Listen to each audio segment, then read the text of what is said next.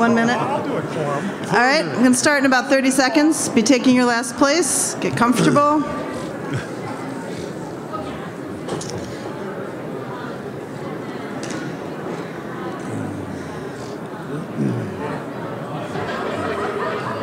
Welcome, everyone.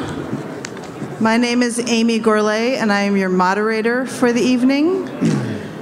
I'm a mediator from Mediation Center, and I brought with me uh, volunteers from community mediation centers throughout Minnesota.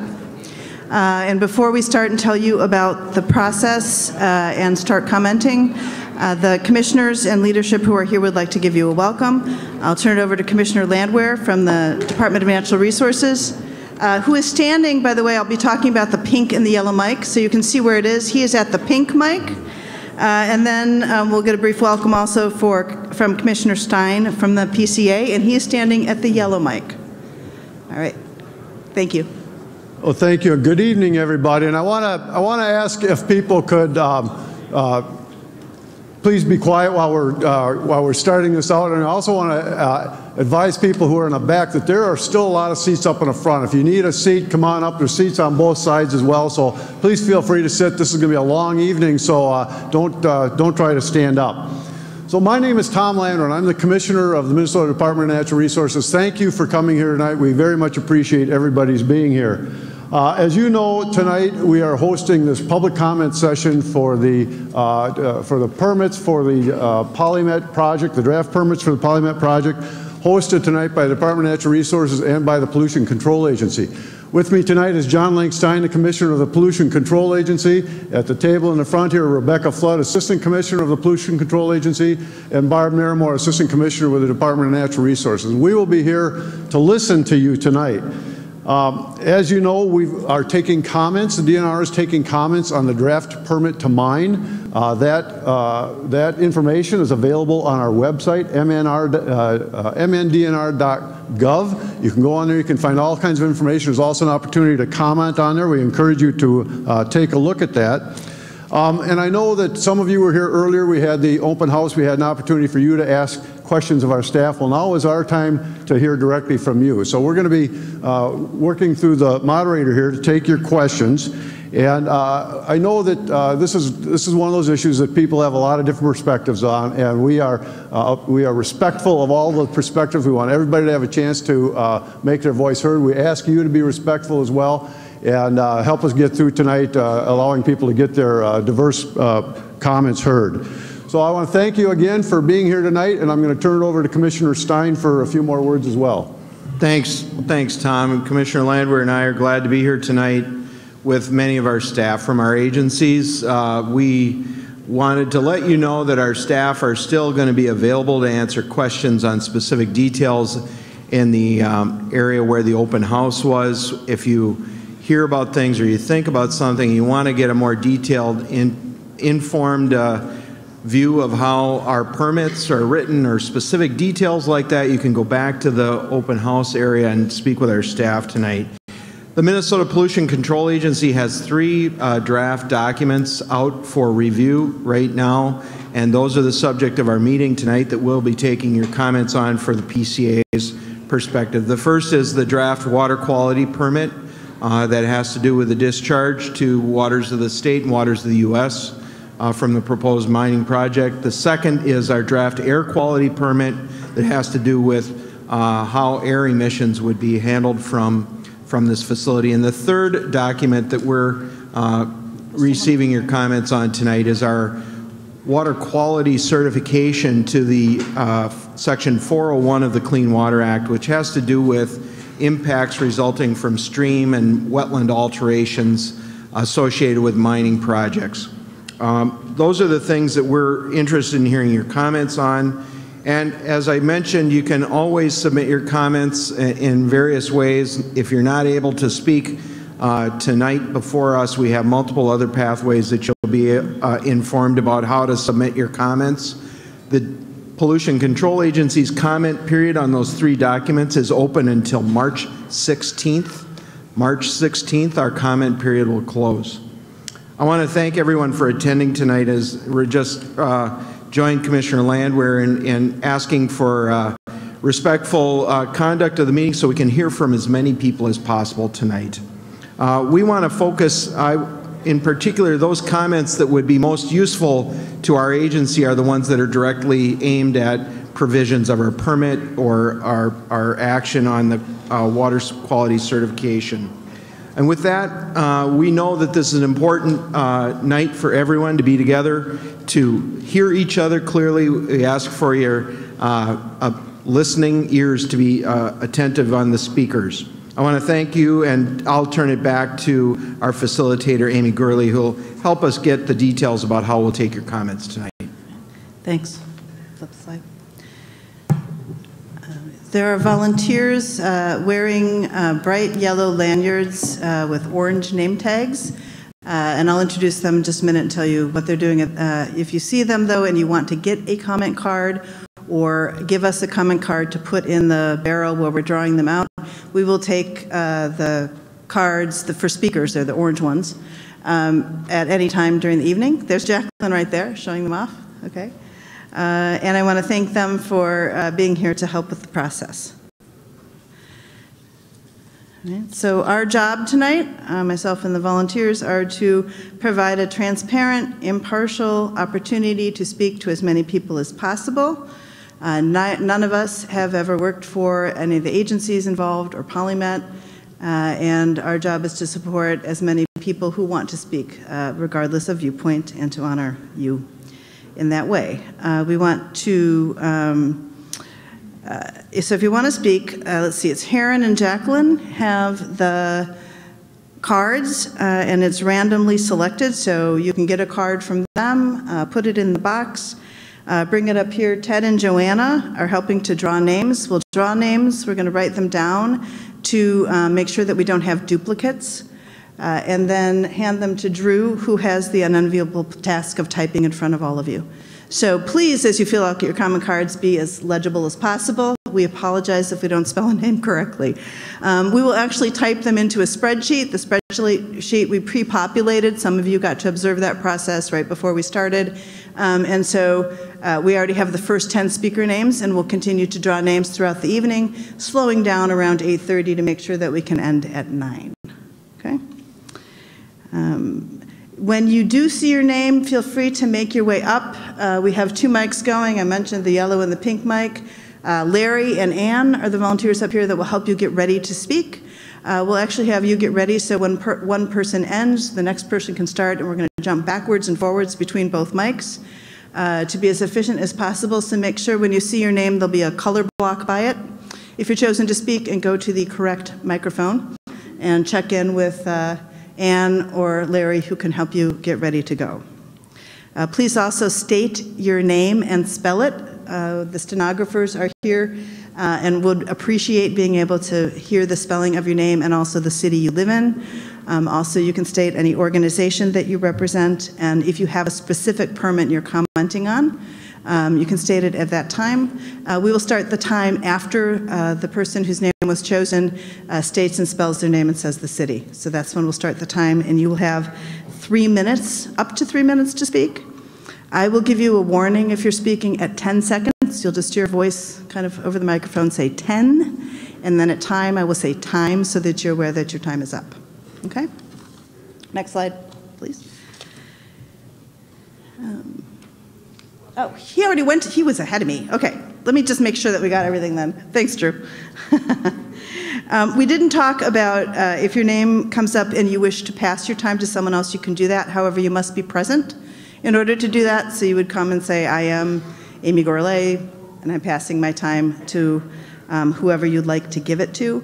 Uh, Note that uh, if that person's name is drawn again, what we'll do is they'll let me know and I'll read it off, just in case two names are very similar, uh, so that you know why we've passed up a card. So if you see us pull a card and hand it over to me, I'll check with you to make sure that it's actually a duplicate.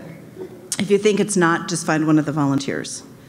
Um, We don't plan to take any long breaks. We may need to take a brief break for if the stenographer, um, there's a stenographer switch, or if they have a downtime, or uh, we need just a brief breather. Also, if the room should get too noisy so that the speakers can't be heard, we will wait um, until it's quiet enough to proceed. Okay? Um, And with that, we've pre-populated the names. and I think Tom, is Tom Thompson was the first name? And are you ready to go? So Tom Thompson from Duluth. Also, if you're in the first five or six, you want to be making yourself up. If you're Tom, you want to be there by Larry at the yellow highlighter, yellow mic. And Brad, we'll be getting you ready over at the pink mic. All right.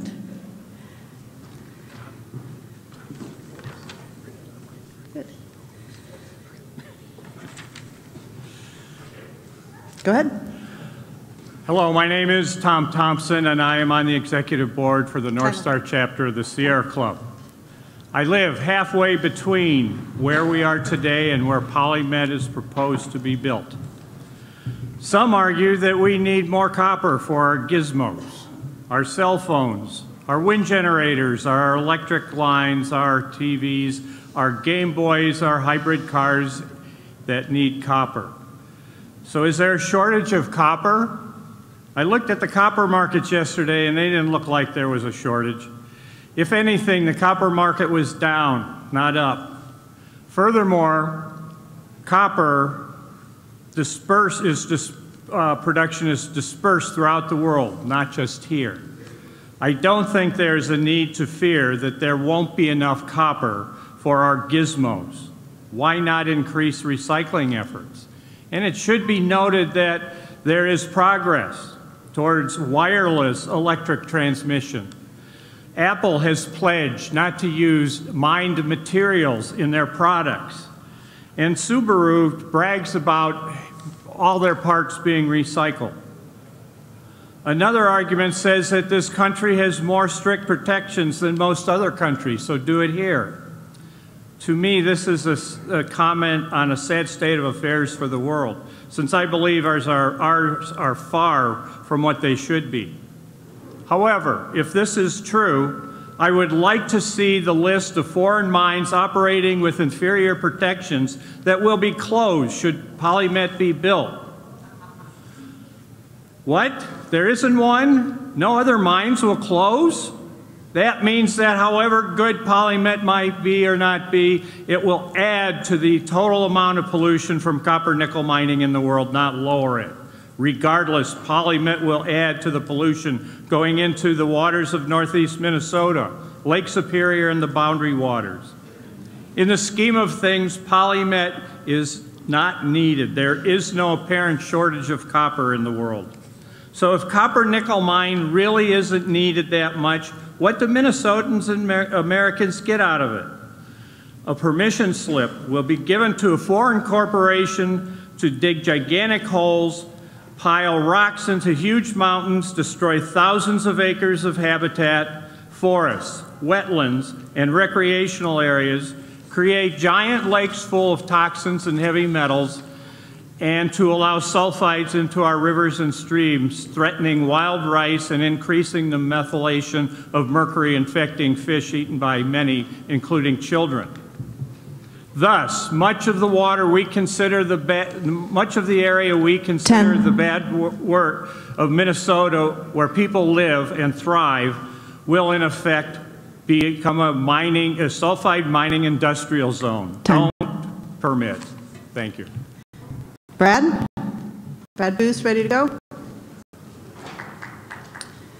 And Mike Casey, make your way up front, be ready to go? My name is Brad Boos from uh, Moose Lake, Minnesota, and uh, I support PolyMet, and I want to defer my time to uh, Commissioner Keith Nelson. Good evening. I am Commissioner Keith Nelson, currently serve as the chair of the St. Louis County Board. Commissioner Landwehr, imagine the day that I would come in front of you and thank you. Um, I don't think you imagined that some years back. With that said, um, I, I truly do want to thank you for the science, for the work that you've done on this project. It is the people of St. Louis County that I have been so proud to serve for these last 14 years. Truly appreciate the efforts that have been made.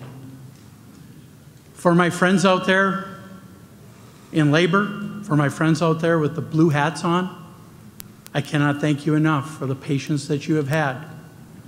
I hope that this is the last time we have to meet on a project which has significant merit and which has proven itself both in science and in process.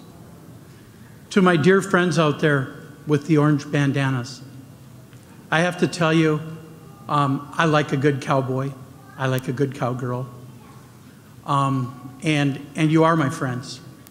I hope that as this process moves forward and this project moves forward, you will join me in, in the prosperity that this county is certainly going to see as a result. With that, and since this or this, uh, the rules of this uh, event are that we can't uh, clap after people are done, I'm going to cede the last minute of my time to, to my friends out there in labor who want to use their two hands to clap now and work later at Polymet.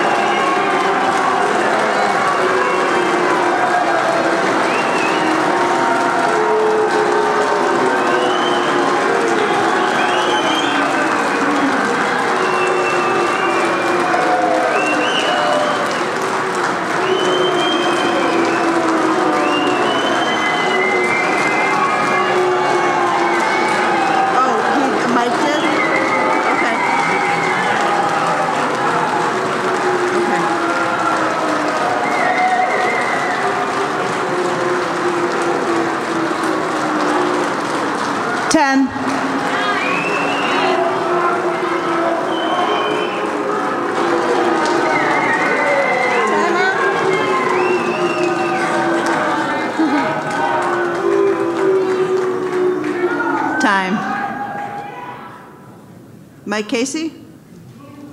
Is Mike, is Mike here? Mike Casey?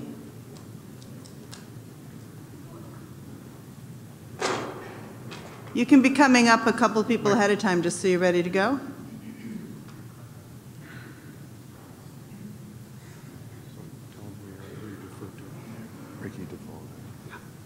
I'm Mike Casey. I'm going to cede my time to Ricky DeFoe.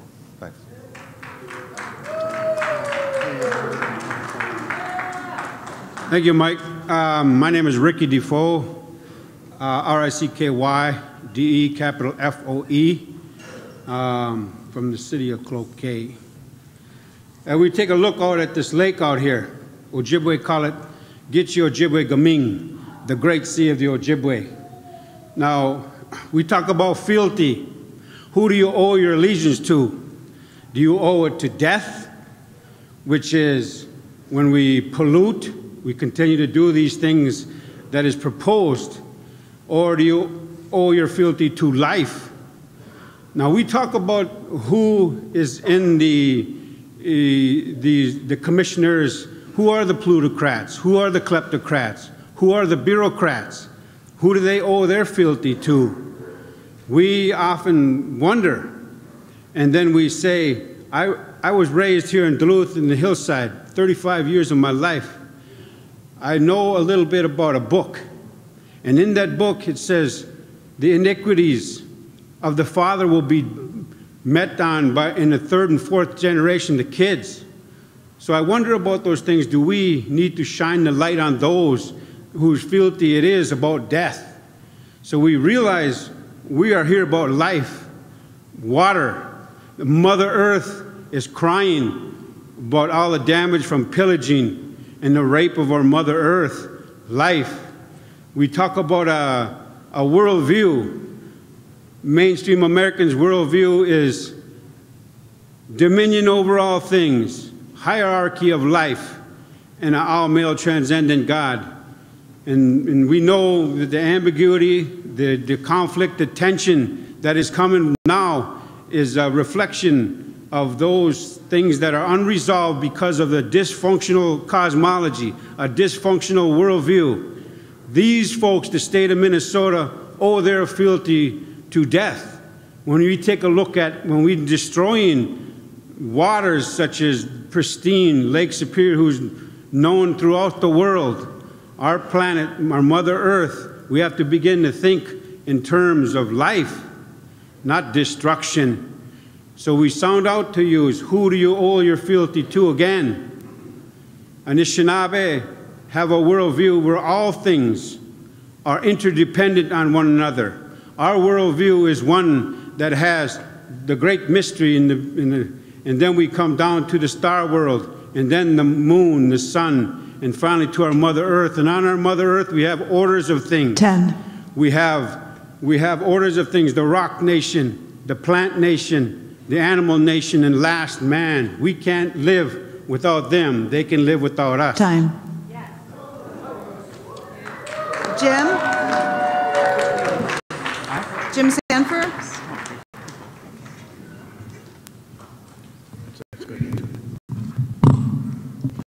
My name is Jim Soffer. I was born and raised in Minnesota. I'm a veteran. I spend many, many days hunting and fishing in northern Minnesota. My family, my son has a home on Lake Vermilion. Uh, I don't think anybody appreciates the land, the water, the trees, and nature any more than I do. I spent all the time hunting and fishing, and I love it up here. However, we do have a need. It was several years ago when we were at war with uh, in Europe and in and in the Pacific, and it was the ore that came out of our hills here that uh, really probably saved this country and making the planes and the tanks and the ships and everything that was needed for our military to be successful. Today we're still at war. We have people in this world that would like to put away with our entire way of life. And with the rocket boy now and his little rocket with a atomic bomb on it, he could hit our nuclear, oh, shake your head. He could hit our, nuc- our, uh, our, our, uh, our electrical grid and he could put us all out in no time. We can't let that happen. War today, or our military today, uses a lot of new technology. We have unmanned aircraft, we have uh, satellites, we have uh, all kinds of computers. Just about every part of the military industry uses technology and computers to, uh, for, their, uh, for their efforts. And so it is our obligation to provide them with the materials that they need to be successful. And that's all the special precious metals that we have here under our feet today. We do not want to buy it from overseas because that's exactly what will happen. We have it here, let's use it. God bless the military men and women today. God bless the mining industry in northern Minnesota. And God bless the USA. Thank you. Tanya? Tanya Kittleson? Hi there, I'm Tanya Kittleson. I'm with the Friends of the Boundary Waters Wilderness. Thanks for letting us speak tonight. Okay. Um, we strongly urge you to reject the Polymet Northmet sulfide ore mine proposal permits that are in front of you right now. You're considering some pretty serious stuff, so I appreciate your critical review of it. You asked us to content, asked us to comment on content that is new or unresolved at this state, and there are a few that I'm going to list right now. One is that I ask you to require Polymet to use the best available technology for storing mine waste, and that would be dry stacking. That's currently the industry best standard for um, storing mine waste versus storing it in a liquid form, kind of a waste slurry that's stored behind an earthen built dam. Uh, these, the earthen dams are actually um, old technology and are the main reason why so many sulfide ore mines have seriously polluted in the past. Polymet has promised to use best industry standards, and dry stacking is recommended. Still, the permits you are currently considering allow Polymet to use the old technology. Another is given that acid mine drainage from Polymet mine dam that collapsed in 2014, that pollution traveled 400 miles and I mentioned this last night in Aurora, but it's worthy of repeating here. Um, I'm asking that you determine how far that, that acid mine drainage pollution will travel into Lake Superior. From where, from where the Polymet mine sits, if you go 200 miles downstream, you get to our lift bridge, which is just outside of the deck here. And another 200 miles past that goes out into Lake Superior, and that's 400 miles. So maybe Polymet mine pollution goes not quite that far, maybe, maybe it goes farther. But uh, as citizens of the state, I think we deserve to know how far that reach of contamination extends before you make a decision. Um, I re- request that you require an updated financial analysis. The last one was done in 2008. It's been 10 years, and no one, not, and no one should, and no one, including the state of Minnesota, should make a decision based on 10-year-old financial information. Lastly, I request that you require Polymet to prove it can capture and collect 90% of its wastewater before you make a decision. No, no other metal mine has ever captured 90%, um, let alone suggested that they could. Mines usually promise high and perform low, meaning they usually promise 60 to 80% capture rate, but fall short of their promises by about 25 to 30%. Polymet plans to use the same technology that other mines have used, nothing new, nothing better, yet it claims it will achieve what has never been achieved before. So please reject the permit application and require proven technology be used to capture and collect 90% of wastewater. 10% of billions of gallons of waste is bad enough. It's too much pollution to allow into our public waterways. Please do not allow more than that. Thank you. Time. Jacqueline just let me know that some people are having trouble hearing in back, so if you're speaking, you really got to get yourself up there into the microphone. All right. Philip, you ready to go? Philip Knutson?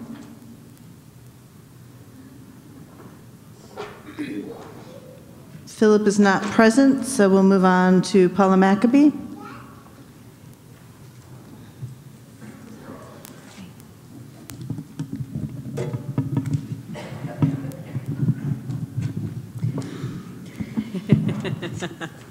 Thank you.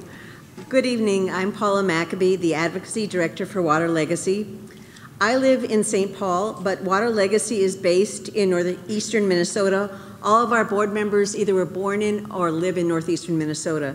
I'm a bit of a technical person, so I'm going to focus on some specific technical issues in the permit to mine and the Minnesota Pollution Control Agency pollution, water pollution permit. And based on the technical information that I've read, I believe the Polymet Copper Nickel Mine threatens Minnesota waters, downstream property owners and communities, the St. Louis River, Lake Superior, and Minnesota taxpayers. Now, you need to know that even if everything goes as planned, the Polymet Mine project would result in over 15 million gallons per year of untreated contaminated pollution seeping into Minnesota groundwater and from groundwater into wetlands and streams. Polymet's mine pits, its tailings waste, and its waste rock piles that's permanent all have no liners underneath, and they would seep contaminated water for centuries, if not forever. When the Minnesota DNR said back in March of 2016 that Polymet's environmental impact statement was quote unquote adequate, it relied on claims made by Polymet that it would capture more than 90%, no, no, more than 99% of the polluted seepage at its tailings waste site.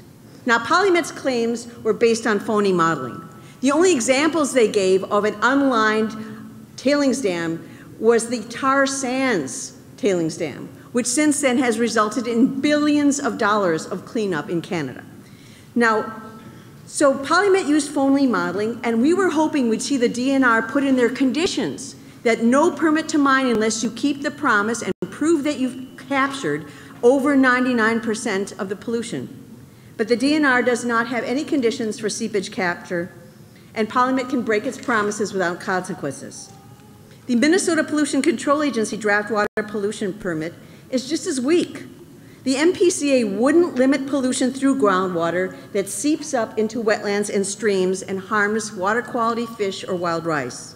In fact, the Minnesota Pollution Control Agency doesn't even propose to monitor at those really close by wetlands and streams, so Polymet could pollute Minnesota surface water for decades with acid mine drainage, sulfate, and toxic metals, and no one would be the wiser. That is not what we want from either the DNR or the PCA. We are counting on you to protect us. Now, here's something even more dangerous for any of you who live downstream. The DNR permit turns a blind eye to another huge risk the threat that Polymet's dirt dams that are supposed to hold back Ten. tailings waste would collapse. Polymet is only being required to put up $10 million for what could be hundreds of millions of dollars in liability. Time. Thank you. Kristen Larson? Hi, I'm Kristen Larson with Friends of the Cloquet Valley State Forest, and speaking for me today is Jan Kehoe, and Jan is the Township Supervisor of North Star Township. Hi, yes, my name is Jan Keogh. I'm a wetland scientist and a past president of the Society of Wetland Scientists. Um, I'm going to speak today um, in, uh, con with concern about the permit to mine. Okay, I'm short. um, a couple things. First of all, the wetland loss around the mine has been uh, grossly underestimated in the um, um, narrative document um, because the analog model that was used um, has scientific flaws through analysis of a bedrock type that's not present there. And so I think that the um, damage to wetlands around the mine will be much greater in scope and geographic area, um, and, and that's a concern. The second uh, concern I have is that the um, construction of the mine and operation will result in a thousand acres of wetland loss that will not be replaced because um, the mitig mitigation bank that's planned to be used, that is the Superior Mitigation Bank, is compro comprised um, of largely of healthy wetlands. And so um, the peatland types that the mine will destroy um, will not be restored in the mitigation area. They'll be, the, the credits for mitigation are going to be comprised entirely of preserving natural wetlands. So this results in a total loss of a thousand or even more acres of wetlands overall during the project. So I'll be very brief. I'd like to ask the DNR and the MPCA to deny the permit until they can show that there will be a no net loss of wetlands. Thanks. Catherine Kohlmeyer, ready to go? Is that mic ready to go? We're switching it out so you can be heard. I'm Catherine Kohlmeyer, and I cede my time to Rich. My name is Rich Staffon, uh, R-I-C-H S-T-A-F-F-O-N. I'm speaking for the Duluth chapter of the Izaak Walton League. I can remember when the lower St. Louis River in Duluth was an industrial wasteland. It was not fishable, swimmable, or drinkable. Thanks to the Clean Water Act and after spending nearly half a billion dollars, the river has been restored to the point that it is now an economic asset rather than a liability for Duluth. It does not seem consistent policy to us to spend so much money to clean up the lower river and then issue permits to create an industrial wasteland in the headwaters. Copper and other minerals are valuable for our economy and society, but they're not more valuable than water. Water is essential to everything we do. Protecting watersheds is how we safeguard our water. The land where Polymet wants to build their mine was purchased with the Weeks Act for the very purpose of protecting the headwaters of the St. Louis River. It defies common sense that we can sustain this watershed while building a toxic mine in the midst of the headwaters. This is a forested, swampy, stream-laden landscape, an ill-suited place for Minnesota to experiment with the risky business of copper mining. If it is so important that we mine these minerals, the permit should at least require Polymet to use the best available technology, such as dry stacking of tailings, rather than storing them in a flooded tailings basin that we know will leak into surface and groundwaters, and if the dikes fail, send a slurry of contaminated water right into the river. One of the duties of DNR is to promote the mining of our state's minerals. Because of this bias to support mining, we ask that a contested case hearing be held as a check to make sure the facts around copper nickel mining are complete and accurate. And as a check on the safety of the mine itself, we ask that the permit require that all employees who mine, transport, and process the ore be regularly monitored for the uptake of pollutants. They are the canaries in this mine, and monitoring their health would be the best way to determine if standards are being enforced and are actually protecting the workers and our environment. Finally, we're especially concerned about the way industry and our state legislature has been able to thwart the enforcement of existing water quality regulations. What good are these permits if they will not be enforced? We recommend that before mining, Minnesota should consider recycling copper as a better way to meet our needs for this metal. There's no shortage today. We believe it would be prudent to not issue a mine permit at this time, leave these minerals in the ground and wait until mining technology has advanced so we can mine them safely. It is time for somebody to stand up and just say no. 10. Thank you. Hi, Janet Draper. Janet, go ahead. I'm Janet Draper, and I'm ceding my time to my wonderful city councilor, Gary Anderson. Thank you. Commissioner Landwehr, Assistant Commissioner Naramore, and other folks here tonight and people in the audience. And it's a pleasure to be here and an honor to be able to speak with you tonight. Um, as you know, we've been working on building a relationship um, with you as a city councilor from the city of Duluth. Um, and I'm grateful for the opportunity to see you here in Duluth tonight and see um, the support um, and the trust that the people of this area have in the DNR. I'm not an expert in anything, and I'm sorry that I can't speak to the technical aspects, but I'll gratefully use my two minutes remaining to say that I believe that the draft polymet permit to mine does not protect the public interest. It puts people downstream at risk and leaves taxpayers unprotected. As drafted, the polymet permit to mine doesn't protect Minnesotans and should be rejected by the Minnesota DNR. I read the mission statement of the DNR. The mission of the Minnesota DNR is to work with citizens to conserve and manage the state's natural resources, to provide outdoor recreation opportunities, and to provide for commercial uses of natural resources in a way that creates a sustainable quality of life. And to put things in plain English, I have to say, how the heck does creating a draft permit to mine with Polymet that includes filtering polluted water for 500 years, how does that add up to a sustainable quality of life?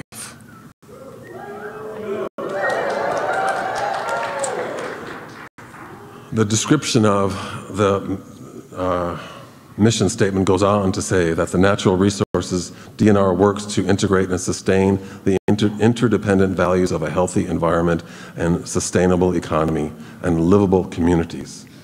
And I'm here to say tonight that I am holding you, the Minnesota DNR, accountable to this statement uh, in all aspects sustainable economy and living, livable um, communities.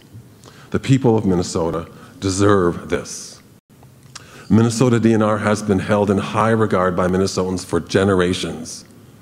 And the time is now for, the, for you, Commissioner Landwehr and Assistant Commissioner Naramore, to live up to the shared values of all Minnesotans.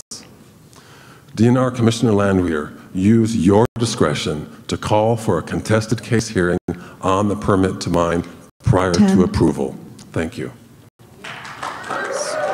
Craig Olson available? Craig Olson?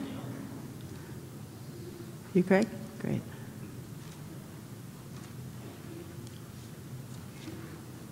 Good evening. Thank you for the opportunity to speak here tonight. My name is Craig Olson. I am president of the Duluth Building and Construction Trades Council. We represent approximately 16 or 6,000 men and women that work in the construction industry in this region. Many of them are here tonight, and I want to thank my brothers and sisters from the building trades movement to be here and be here with Polymet and to stay strong with us through this process. The state has thoroughly re reviewed the NorthMet project and the Polymet has proved that the project permit conditions protect Minnesota's environment while creating hundreds of living wage jobs in the area, in the state that really needs them right now. Northeastern Minnesota has the potential to be a global powerhouse for responsible, strategic metals mining. The NorthMet project will bring new life to an idle taconite plant and mine. With this new life, the region will rebound. Communities will grow, jobs will be created. It's estimated that 650 construction workers will be employed on this project alone, and an additional 350 jobs in operations once the mine is open. Estimates are that there's 200 or 2 million hours of construction, 2 million hours. This is equivalent to the Minnesota Twin Stadium in Minneapolis. Think about the good jobs that were created when the new stadium was built. There is no better time or place to build a mine. The North Met ore body is part of a world-class resource. It's located in the middle of a mining zone where mining has occurred for more than 135 years. We have the trained workforce, the existing roads, the rail, the piping, the power, the tailings dams, and other infrastructure already in place. I, along with my union brothers and sisters, have been waiting a long time and quite frankly have been waiting long enough. It's time for the state to finalize and issue the permits so we can get these projects underway and get our people back to work. Thank you. Lynne Pickart.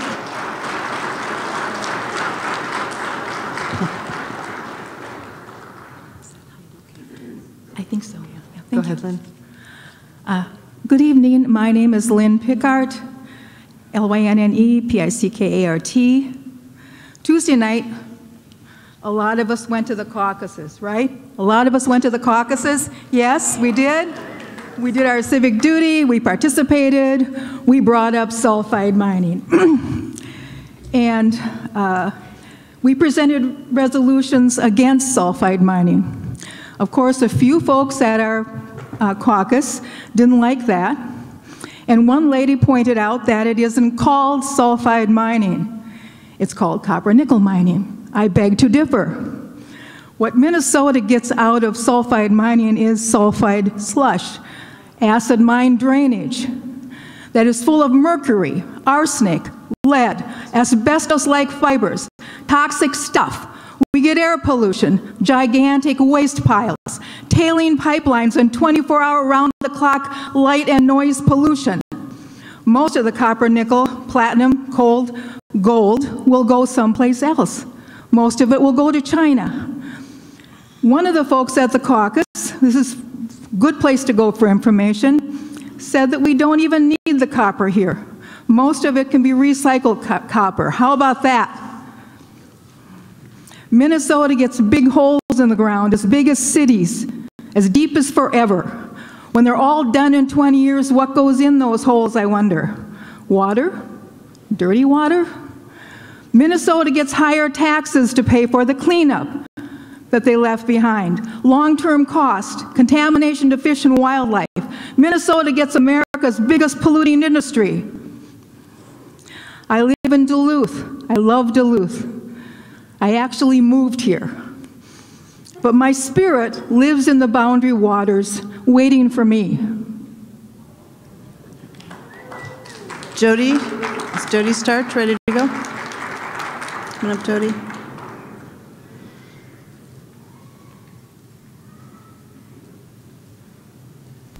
Hello, my name is Jody Starch. I'm a local 49er, and I'm from Manorville, Minnesota. I support Polymet and defer my time to Senator. A little closer to the mic. I, I'm Jody Starch. I'm a local 49er, and I'm from Manorville, Minnesota. I support Polymet, defer my time to Senator Tom Bakk. Good evening. Uh, I'm Senator Tom Bakk. The Polymet mine is, uh, will be in my Senate district.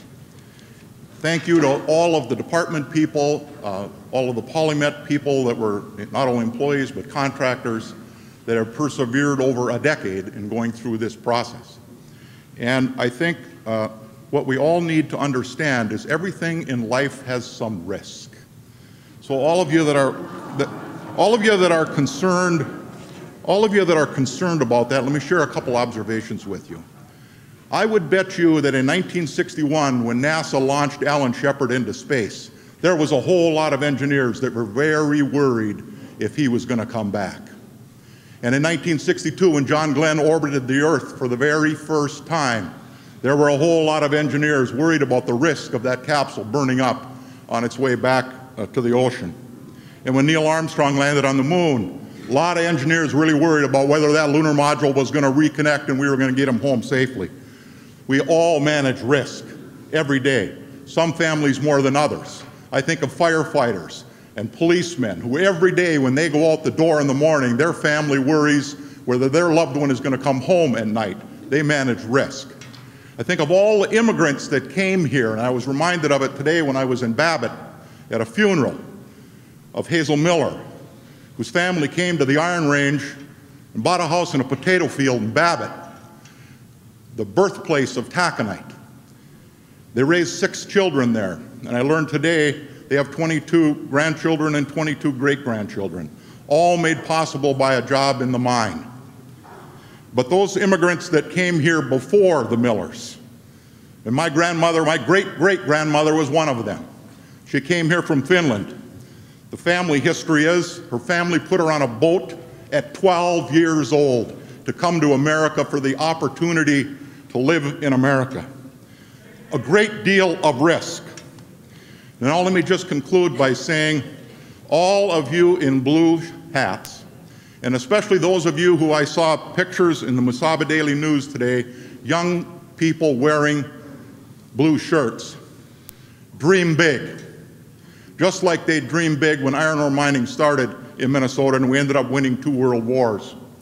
Dream big that someday we build the factories that make the pipe and make the wire and the range is reborn because it can be done, but it will not be done without some level of risk because everything in life carries some risk. Thank you. Time. Anna? My name is Alyssa. My name is Alyssa Hoppy, and I cede my time to Henry Mott. My name is Alyssa Hoppy, and I cede my time to Henry Mott. Good evening. I'm Henry Mott. I'm professor of environmental engineering at St. Cloud State University, formerly of the South Dakota School of Mines and Technology. I've 35 years where I've been following environmental systems, and I think I've figured out how things move in environmental systems. Um, this closure plan that PolyMet has proposed is fatally flawed. We look at history, um, and, and, and, and there's 57 metal mines in 15 states right now that are producing acid rock drainage, and they will produce that acid rock drainage in perpetuity. They've used 1950s technology, and it just doesn't work. They've left rock piles on the surface, they've left um, processing pits open on the surface, they've left high walls, and they left pits open to fill with acid rock drainage. Polymet's plan is not that much different. Um, they want to uh, uh, dump waste rock in a pit, no isolation measures. That will be a problem in perpetuity. Uh, they want to leave um, processing waste in open pits on the surface. Murphy will have his way with that eventually. They want to cover waste rock piles with thin plastic membranes, microbial activity, root penetrations, freeze thaw cycles, will have those membranes looking like American flags that have been on flagpoles continuously for two years. So, and, and, and they want to leave a pit open. They want Minnesota's own version of Montana's Berkeley pit. pH 2.5, toxic groundwater, unsolvable in perpetuity. Okay. So what do we do? There's all these blue hats over here. There's all these orange flags over here. How can DNR bring those two groups together? They can say, now, in the future, if we're going to mine sulfide bearing ore in Minnesota, we'll put the waste back into a repository. They can build that repository with an earthen barrier around its periphery. It'll take 5,000 years for water to get through that earthen barrier. They can put a lake on top of that repository. They can have that lake have organic sediments. Oxygen will never get in. No oxygen gets in, no acid rock drainage will ever be produced. Now, DNR There's lots of good rock. Let's grab some of that rock. Let's put some walleye spawning areas in that lake. Let's use the rest of the rock. Let's use the rest of the um, overburden. Let's create some topography on the round, around the lake. Let's plant some trees. 10.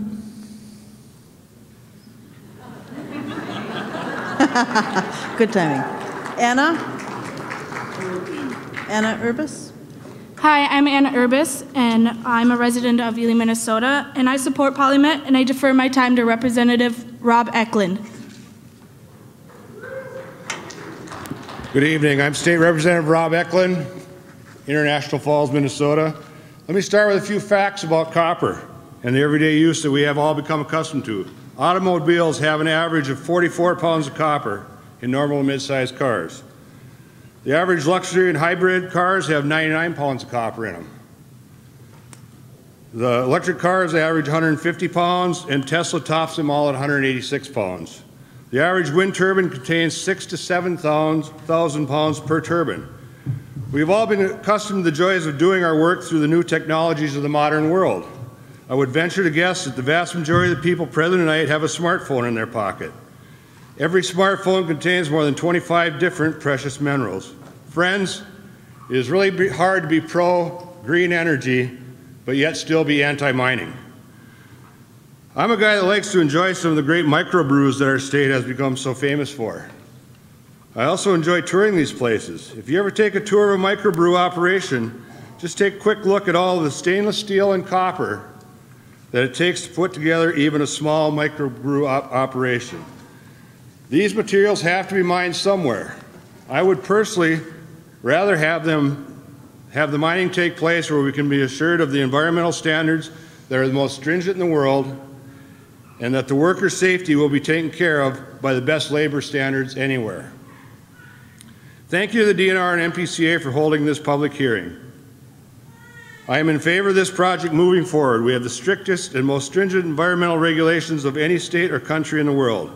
My view on this project is that it can be done through science and research and that we can safely mine copper and nickel and all the other precious uh, metals available in the Duluth complex. It should move forward. To deny this project will just make us more reliant on imports from third world countries that have little regard for environmental regulations or the working conditions of their employees. Again, thank you for this public hearing, and I would like to close with a couple of thoughts. We won two world wars by mining on the Iron Range. Let's take this mining one step further. After the per permit to mine is issued, let's make this area the destination for in industry that can further develop the copper and nickel resource.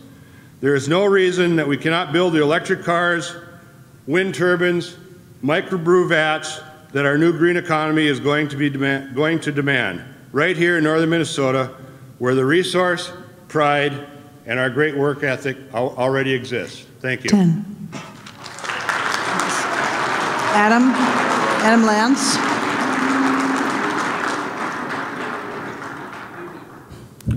My name is Adam Lance. I work with Minnesota Industries. We support responsible mining and we support Polymet. I would like to defer my time to Harry Melander. Commissioners, uh, good evening. My name is Harry Melander, uh, 353 West 7th Street, St. Paul, Minnesota. I'm here as the president of the Minnesota Building and Construction Trades Council's chair and a founding board member of Jobs for Minnesota. And I'm also here today, like the orange and the blue because we all care about Minnesota. Our state has gone through a permitting process, a thorough permitting process for the Polymet North Met project. We as Minnesotans trust the science and the findings of our state experts, which shows that this project will protect the Minnesotans and also our environment. About the builders, the skilled laborers, the men and women of the building trades, who will build this project and meet and exceed all state and federal environmental requirements. To our rangers, the miners, a well-trained professional and knowledgeable workforce that has more than 130 years of experience mining responsibly and taking care of our backyard. On the jobs, this project will create hundreds of job opportunities for workers to provide for their families and to bolster the economy of the Iron Range community and, and beyond. These job opportunities will, uh, will bring well-paying, long-term, dependable jobs that are fit for highly skilled workers that are needed within this community. Additionally, Polymet trusted the process that they were asked. It's invested millions of dollars because they agreed with the process and have followed through it. Polymet has followed the state's strict regulatory reviews and permitting process. It has done everything that you and we have asked. I urge the MPCA, the DNR to grant these permits in a timely manner. It's time for the state to finalize these permits and allow Minnesotans to get to work. Thank you. Bill, Bill Erzar? Is Bill uh, available? Yes, I am. I'm right here. Oh, good you're on- evening. You're on the pink mic, sorry. My name is Bill Erzar, E R Z A R. It's all right. We'll go with it. It's okay. Go with it. I'm a lifelong resident of Ely in the Boundary Waters Canoe area around which Ely has always been a part. And I'm a former school board member in Ely who has seen our school population dwindle. I'm a proud Air Force veteran and a retired, proud union steelworker. I support Polymet and I defer my time to Lory Fedo. Thank you. thank you. Thank you. Good evening. My name is Lory Fedo, L-O-R-Y, F-E-D-O, and I have been president of the Hibbing Area Chamber of Commerce for over 25 years. I've lived in or around mining communities my entire life, and I now live in French Township, just 30 miles north, as the crow flies, from the proposed Polymet project. Polymet has been under, or has been in this process for half of my career, and I'm kind of old. I strongly support the Polymet project because I believe Polymet will mine safely in our region. I believe in the strength of the environmental, scientific community of our region and our, in our industries. And more importantly, I believe in the people who are behind both. We have a track record of mining safely for more than a century, and I believe we will continue to do so. Industry is continually innovating and must for, to stay operational and relevant. Our community can be a part of this innovation. As we move towards using more sustainable energy sources, we will de- depend heavily on, mine, on the mining industry to supply the materials we need. As consu- consumers, we can derive these materials from overseas or we can produce them here. We have the metals, we have the resources, we have the workforce, we have the infrastructure. Polymet will be part of keeping this wealth in our communities, in our nation, and in our state. I also trust our state's regulatory agencies have done their job to analyze the project accurately and fairly, and Polymet is working through the process outlined by these agencies. In time, it is time to move this project forward. Our chamber and all the northern chambers of commerce and the business community stand at the ready to help be a part of this exciting project that will strengthen our region and provide jobs for our people. Thank you. Laura Kircher? My name is Laura Kircher. I'm a lifelong Minnesota resident and a member of the grassroots group called Better in Our Backyard, which supports responsible economic industrial development that drives our economy in northeastern Minnesota. The state we're in tonight has some of the strictest environmental standards of any state. The regulatory process for the North Met project, which has been very thorough, shows that the company can meet and operate within these standards. Our area has been mining for over 135 years, and safety and the environment are at the forefront of our work. Better in Our Backyard rejects the notion that the copper, nickel, cobalt, and precious metals we all consume should only be sourced from countries that lack the laws, means, or will to protect their environment like we're capable of doing right here in Minnesota. As a Minnesotan and a resident of St. Louis County, the economic benefits cannot be repeated too much. The North Met project will create 360 full-time jobs. These are good, high-paying jobs that support families. This project will create secondary job needs, creating 600 additional opportunities for residents. Iron Range needs these jobs. They have the expertise and the available talent to fill these roles and inject energy into their communities. The county needs this project. St. Louis County will see $515 million in benefit. That has an incredible impact to schools, roads, and county services. I urge the MPCA and the DNR to grant these permits. Har- Harvey? Harvey Van Horn? Har- There you are. Harvey Van Horn, and I'm actually going to cede my time to Michael Pfau. Thank you. That's spelled Michael Pfau, P-F-A-U. And I appreciate the chance to speak to you tonight. Uh, the message I'd like to take to you is that the risk is too great. Any risk is too great. I've been inspired by the example in recent years of the water protectors who have taught us that water is life, that you can live without oil, even though it would be tough. You can even live without a cell phone, even though my daughter probably couldn't. But you cannot live without fresh water, clean water. And so I'd like to suggest to you today that we are extremely lucky here. Uh, Duluth, we look to the south and the east and we see the greatest freshwater sea in the world with 10% of the non frozen freshwater on the planet. We look to the north and see a pristine wilderness of lakes, rivers, and streams. We are truly blessed. And if, as some serious thinkers say, that water in the 21st century is the new oil, then we are the Saudi Arabia of water. And we have a special duty to protect this resource. Now, if our water resources were to come under threat from terrorists wielding chemical weapons, every single resource of our government would be, would be levied against preventing that threat from coming to fruition. You know, if we could prove they were foreign terrorists, even the president might take an interest in protecting Lake Superior water.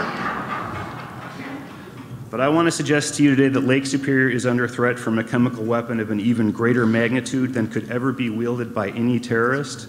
The true chemical threat comes not from imagined foreign terrorists hungry for blood, but from foreign multinational corporations hungry for our minerals. The more than 200 million tons of toxic acid and heavy metal bearing waste generated by this mining proposal is a ticking time bomb. And it's not a matter of if it will go off, but when this time bomb will go off, sending millions of tons of toxic cargo straight down the St. Louis River toward Lake Superior. All parties agree, including the mining companies, on three things. First of all, hundreds of millions of tons of extremely toxic waste will be generated by the proposal. Second of all, it is so toxic that it must be permanently and totally contained. Third, it will be toxic for hundreds of years perhaps, and any water even leaking from it has to be treated with a complex process. All parties agree to this. Where they disagree is the mining companies believe that this toxic slurry can be contained for hundreds of years. Opponents believe maybe not. The risk is there and the risk is too great. Now we're told that this time it will be different, that all of the previous times when this mining has destroyed water ecosystems after promises it wouldn't are exceptions, that that's the past, that we have new technology, things are different now. But what is the new technology? As several speakers have noted, the new technology is a 40-year-old dam. 10. That's right, the only thing separating us from 200 million tons of weapons grade chemical materials is a two and a half mile long dam.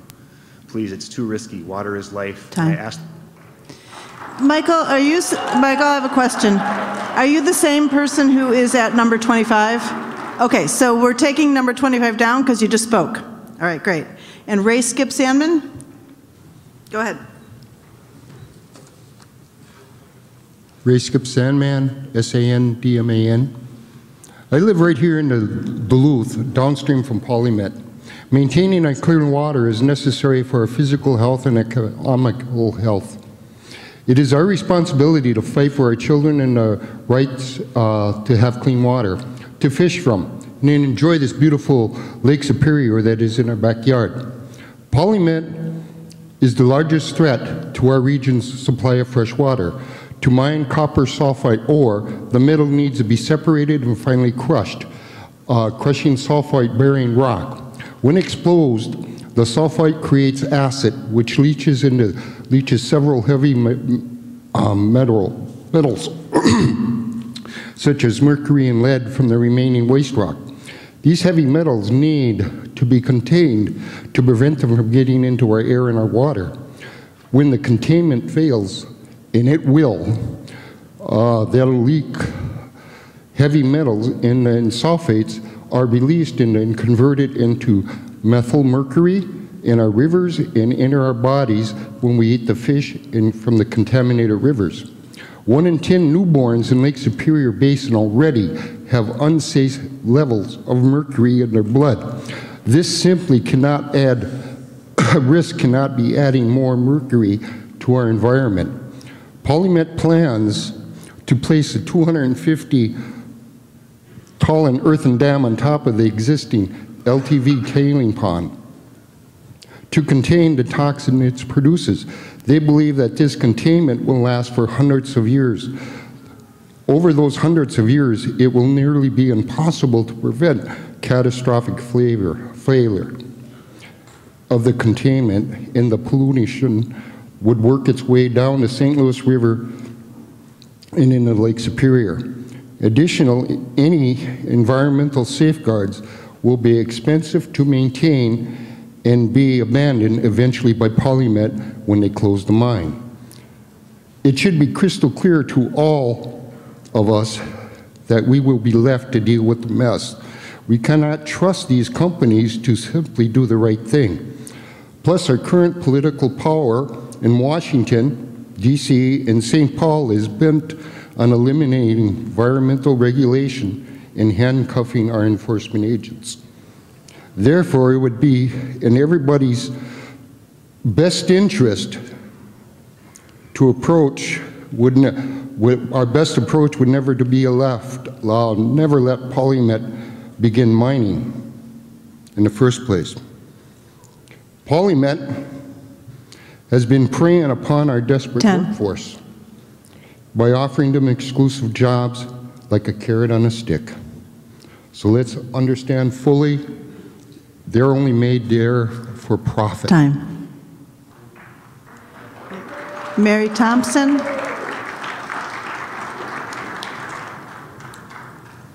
Mary Thompson from Duluth. I cede my time to Virgil Sohm.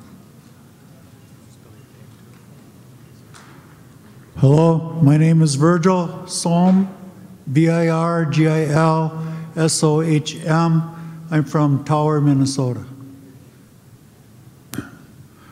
I'm here to represent seven generations of our people. I am an enrolled member of the Lake Superior Band of Ojibwe, and I have great concern for all of our grandchildren. I want to thank you, commissioners, representatives, people here with open hearts that are listening. We need to hear the truth. We need to get away from scientists that are leading us down a scorched path.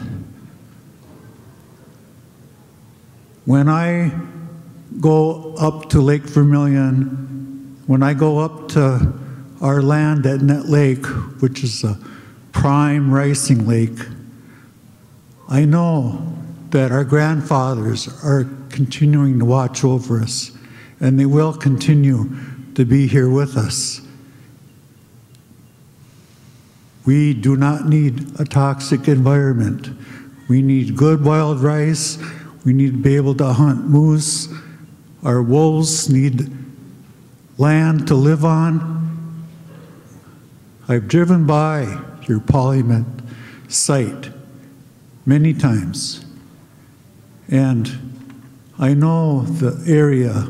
I know the way that the rivers flow through there in the creeks, and you do not have permission to have that water to flush out some crud that's in the ore and throw away 99% of it. Miigwech. Rachel Burrows. Rachel,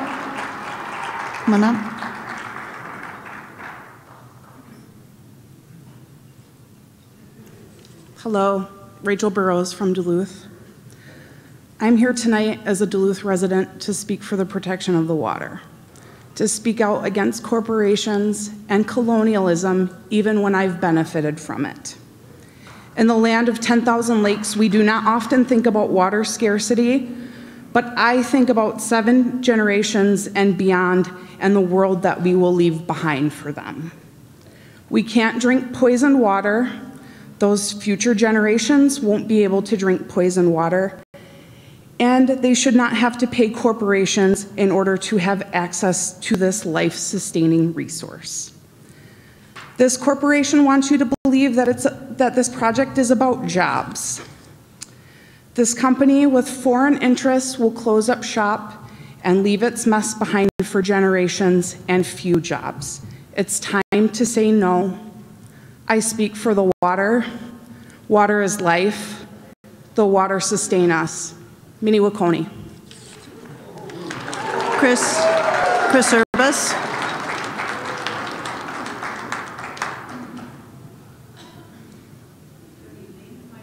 Service, um, resident of Ely, Minnesota, born and raised.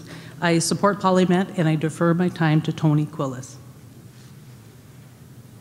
Good evening. My name is Tony Quillis, K W I L A S, and I am the Director of Environmental Policy at the Minnesota Chamber of Commerce. First of all, I'd like to thank the Department of Natural Resources and the Pollution Control Agency for having this consolidated draft public hearing on the draft permit to mine, the draft air permit, the draft water or NPDES permit, and the 401 certification because this is a perfect example of one of the efficiencies that the Chamber has been asking for. Instead of having four separate public hearings, to have one consolidated hearing, and we thank you for listening to us and having, this is one just perfect example we think of an efficiency in the system. Second of all, I'd like to thank you for having multiple public hearings, which you didn't have to do and went above and beyond what was required in state law. But we thank you for doing that, and especially having it in the region um, where the proposed project is located. Hearing from stakeholders that have daily interactions with this proposed project is invaluable.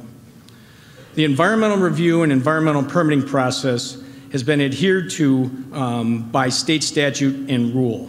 Some will say, along with the Chamber, that it's taken too long and cost too much, but no one can argue that this process has not been followed and closely adhered to. We have a tremendous opportunity before us to develop a world-class resource, the NorthMet ore body, and in turn capitalize on one of the largest economic development projects proposed in this state in recent years, all while protecting the great natural resources that we all enjoy. This economic impact of this project is invaluable and could create over 600 construction jobs and 360 permanent jobs at the facility. There will be numerous auxiliary benefits also to local cities, counties, school districts, businesses, as well as to the state of Minnesota. In regards to the four permits, um, on the permit to mine, I'd like to thank the Department of Natural Resources, Commissioner Landwehr and Assistant Commissioner Naramore for your staff for putting together this document. I know it was no easy task. But the most important part of that permit to mine is the financial assurance provision. The financial assurance provisions assure that the state of Minnesota will be protected when the processing facilities in the mine are properly closed and reclaimed. It is important to note that this provision can be revisited yearly and adjusted by the state. In regards to the draft air permit, the company has, set, has met all the details required by the draft air permit. The potential emissions are identified and have set limits on those, and they are legally enforceable. On the draft water quality permit or the NPDES permit, um, we thank you for establishing the specific limits and protection of surface and groundwater. But in the end, it is abundantly clear the process Time. established by the state has been. Emily? Emily Norton, you're actually on the yellow mic. Oh, that's okay. Oh, I'm sorry. there. We skipped one because Michael had gone already, so go ahead. Go ahead. Okay, hi, my name is Emily Norton. I'm a citizen of Duluth. I am out here asking the DNR to oppose the permits to mine, um, all the things the scientists have said. What's at stake here from the DNR standpoint is a pristine wilderness that we want to preserve, and I don't think we will regret preserving the wilderness, but we're probably going to regret the mining. Um, I would like to defer the rest of my time to um, Bridget Holcomb, who will speak for Duluth for clean water. Thank you. My name is Bridget Holcomb, B R I D G E T H O L C O M B. I'm from Duluth. Uh, this is my first sonnet, and I think it's appropriate that I wrote my first sonnet for public servants. Um, and I recognize that these public servants have enough flex in the law. You can make this decision either way. How much was hushed to get us to this day? How far would be the breaking point for you? Contort the draft, and with it, science lay, whatever reason facts tell us to do. You do your job, but still reach to sleep fair. So keep the struggles with all laws concealed. Deep dives, minutia of design, and there, false sense of calm, kill qualms about the real. But what a lone soft voice resolved could say, no model holds the world and all its flaws. The thought of ground you stood and lives you changed, be foremost on your mind, retirement day. Before you lies a whistle and our home. Our eyes ask, who's the courage to say no? Thank you. Cindy, Cindy Whiting, over there. Hi, my name is Cindy Whiting, and I'm here to do, to do what I can to protect our clean water. I would like all of you to think for a moment where any of us would be, jobs or not, without our clean water. I w- and that goes to the risk representative Tom Bakk. Where would you be without clean water? And if there is any further question on that, any of us could ask Cape Town, South Africa. I've been at this for a while, and I would like and encourage everyone to go online and Google some of the destruction that has happened by sulfide mining in Canada. You will be astounded. Please, please do not allow this permitting to go forward. Clean water. I defer the rest of my time to Kevin Lee. Thank you. My name is Kevin Lee. The last name is L-E-E. I've heard a lot today about uh, this project complying with the highest standards in the world, so I'd like to talk about that for just one minute. In 2015, there was a panel of expert mine engineers that issued a report that out uh, outlined how we can learn from the mistakes of the past. Most of the mining industry listened. PolyMet and Glencore have not. The first item on this expert's list, don't store mine waste with water. But PolyMet won't listen. They want a permit to create a mine waste lake 900 acres large, 250 feet in the air, and keep it there forever. The Mining Association of Canada, an industry trade group, now requires its members to have their mine waste practices audited by outside experts. PolyMet won't do this. The government of British Columbia requires outside review of mine waste dam designs. PolyMet does not. The Canada Mining Innovation Council says you need to make sure that surrounding communities have real-time access to water quality data. PolyMet won't do this. Here in the States, the governments of Maine, Michigan, and New Mexico will not permit a mining operation that has to be maintained in perpetuity. PolyMet's, PolyMet's permit application says that maintenance and water treatment will, will be required forever. Montana not only requires that permits are reviewed by outside experts, they require that mine waste dams have what's called a factor of safety of at least 1.2. 10. PolyMet allows 1.1, and when you get to 1, the dam collapses. We deserve better than this. Sally Munger.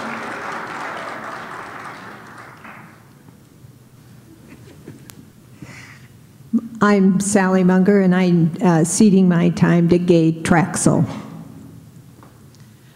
My name is Gay Trachsel, G-A-Y, T-R-A-C-H-S-E-L.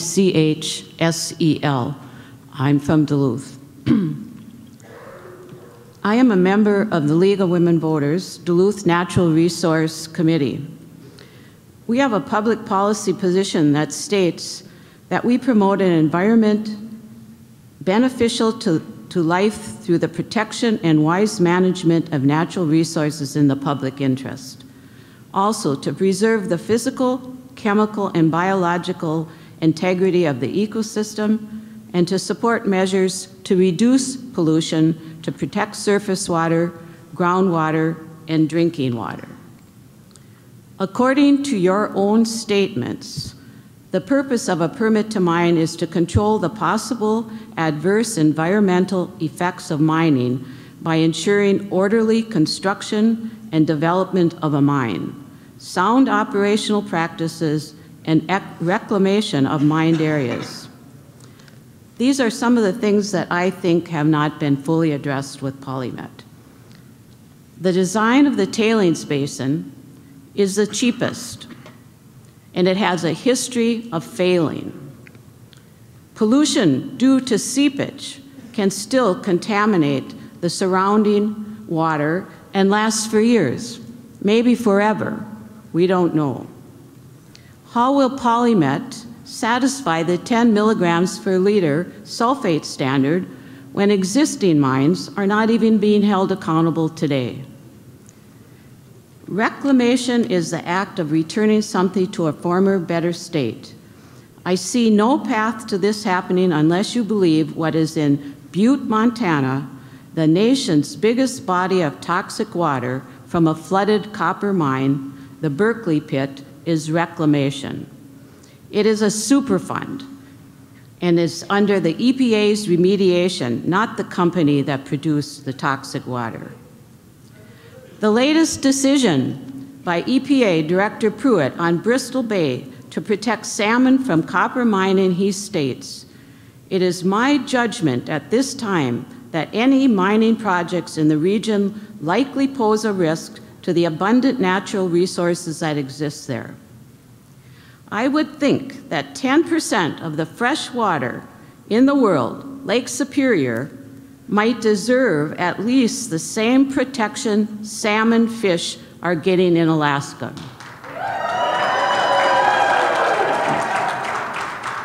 The world's water supply is dwindling due to climate change, pollution, and overpopulation. The only conclusion at this time is that sulfur copper mining poses too many risks Time. today.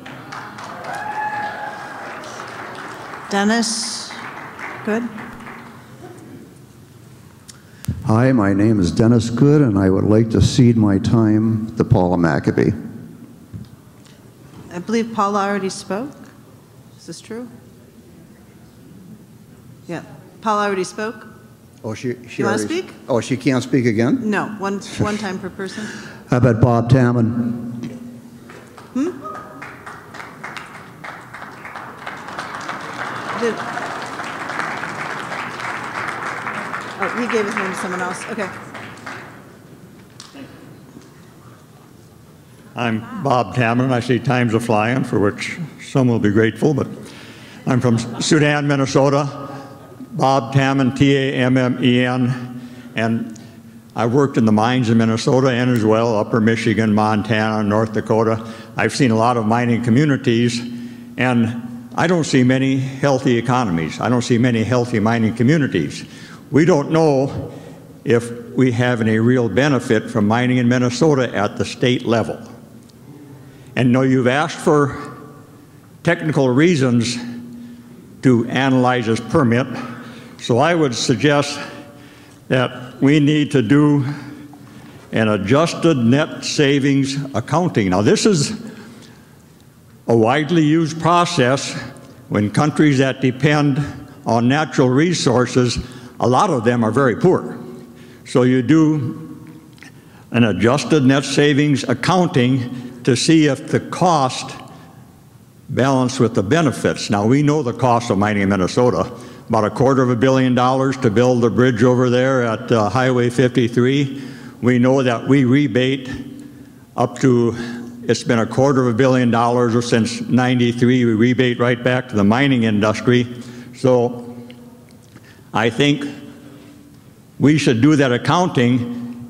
I don't believe the state of Minnesota should make the decision on mining without knowing if we're actually going to get a benefit for the great state of Minnesota. and uh, the other thing I would mention that in the accounting, they account for mineral depletion and wetland destruction, carbon sequestration. There are a lot of costs to mining. So we're destroying wetlands for a little benefit. And I hate to think that I live in a state that would dynamite a cathedral to create a job salvaging bricks. Thank you. Henry Mott. Is Henry here over to the yellow board? Did he speak already? I heard somebody say. Thank you for your help. Um, Rose Hain? Is Rose ready? Rose, raise your hand if you're coming down. Okay, there she is. Come on down. And Lauren Sandville, be getting ready while Rose comes down.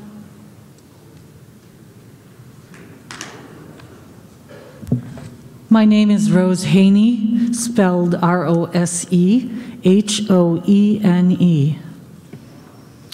And I'm here to stand with the water and ask you to not permit this to happen. And I want to talk about it seven generations sustainability and where that concept comes from. This is not a new concept, this is a very old concept. It originated with the Iroquois, the great law of peace from the Iroquois nation, the Haudenosaunee, who, by the way, our Constitution is based on theirs. They talk about looking forward for our children seven generations. I wonder what it looked like here 500 years ago. Sometimes I like to daydream about that. And I wonder what it will look like 500 years from now. What PolyMet is proposing 500 generations from now would be 25 500 years from now would be 25 generations. The Haudenosaunee people, in their wisdom, were looking at seven. We need to go even beyond that at this point. We need to be thinking about not just us, immediate gain. Jobs, I'm not against jobs. We all need jobs. We need to live. But not through the loss of water, because water really is life. And every single one of us needs to be thinking forward. One of the great leaders uh, of the Haudenosaunee, who, by the way, I lived with for many years, uh, a chief named Oren Lyons, who's often quoted, he said, We're looking ahead as one of the first mandates given to us as chiefs and as people to make sure that every decision we make relates to the welfare and well being of seven generations to come. What about the seventh generation? What about the 25th generation, 500 years from now? Where are you taking them? And where are you taking us? We also pulled the card uh, for Gary Anderson from Duluth, who we believe already spoke again there's two Garys, let me know. Um, Lauren, thank you. I'm Lauren Sambolt from Duluth, Minnesota, and defer my time to Mark Giese. Hi, my name is Mark Giese. I'm not a person who would GIESE. I'm not a person who would normally speak in public, but I will because we need to encourage everyone to support PolyMet through the final stages of the permit process. I was born and raised in northern Minnesota. My wife and I decided to raise our family here too. I attended school in Aurora, so did our children. I've worked in the mines, as did my father, uncle, and great uncles. My family have all been avid outdoor enthusiasts. The last 30 years, I've resided on a small lake on the Embarrass River chain. It is located downstream of the old Erie and LTV mining site, which is the proposed site of the PolyMet project. We use the lake to hunt, fish, kayak, boat, and swim. We also take trips into the boundary waters to enjoy the outdoors, pristine waters, and fishing. Contrary to what opponents of this project portray, residents in this area, including my family, friends, neighbors, coworkers, and customers, are all concerned about our environment. We've been mining Minnesota to close to a century and a half. Our watershed is one of the cleanest in the nation. We also utilize some of the old mining pits in our region for water sources and recreational purposes. It is clean water because we live in a state that monitors mining activities. Companies are held responsible and not given the opportunity to jeopardize the environment without severe ramifications. Polymet has been thorough in following the governmental regulatory review through this long permitting process. The Polymet project will mine ore from the Duluth complex. It is a world-class resource of precious metals located in the midst of existing mining operations. It will produce metals that are essential to our lives. Appliances, electrical components, power plant equipment, dental instruments, and numerous necessary items are built with copper, nickel, platinum, and other precious metals.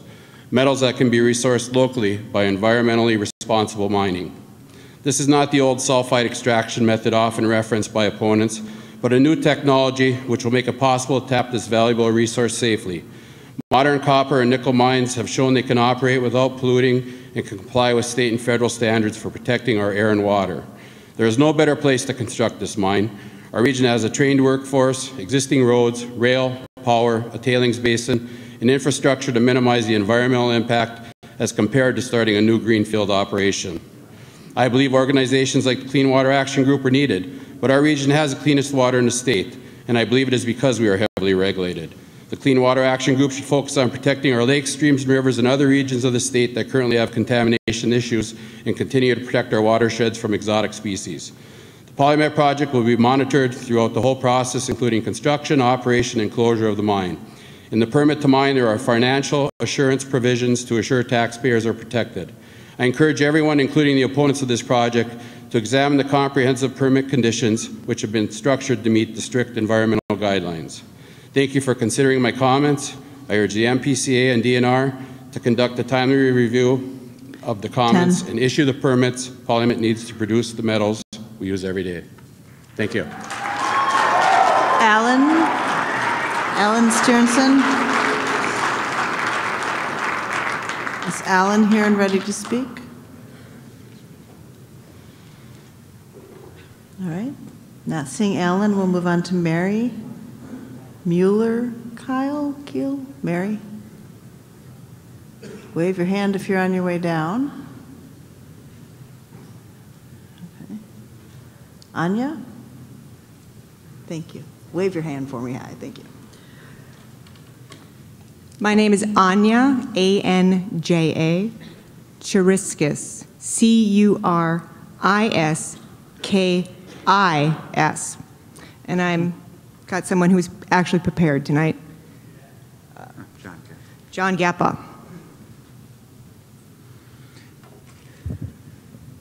Good evening. My name is John Gappa, G-A-P-P-A. I live in St. Paul.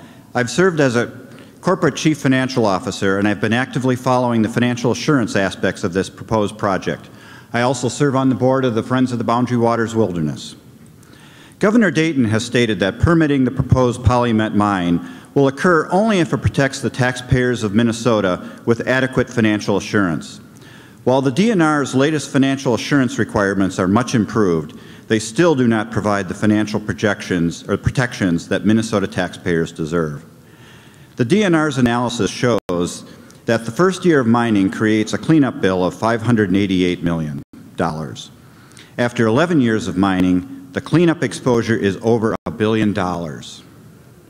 At the conclusion of mining, the remediation costs and the cost of treating polluted water for 100 years is $782 million. And these estimates assume that everything goes according to plan. To protect the taxpayers of Minnesota, I recommend that the DNR first significantly increase the upfront cash contributions required in the financial assurance package. As it stands, the total cash requirements by the ninth year of operation total $26 million, a mere 3% drop in a billion dollar cleanup bucket. DNR's own consultants state that it would be very difficult for Polymet or even a major mining company to obtain the financial, in, in financial instruments required. Second, require Polymet to complete an updated definitive feasibility study examining the project's ability to meet the cash contribution requirements. This study should be subject to public review and comment, and information learned from the study should be incorporated into the final permit to mine. Polymet is proposed paying itself first by contributing only $2 million a year during the most profitable years of mine operation, while deferring its cleanup payments till after most of the productive ore is mined. By delaying the cash cleanup payments, the state runs the risk of Polymet privatizing the profits and socializing the costs of this project.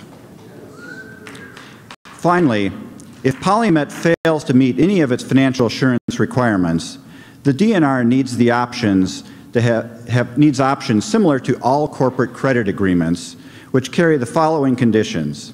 First, prohibit the payment of dividends to mine shareholders if the agreement, if the financial assurance agreements are not being met.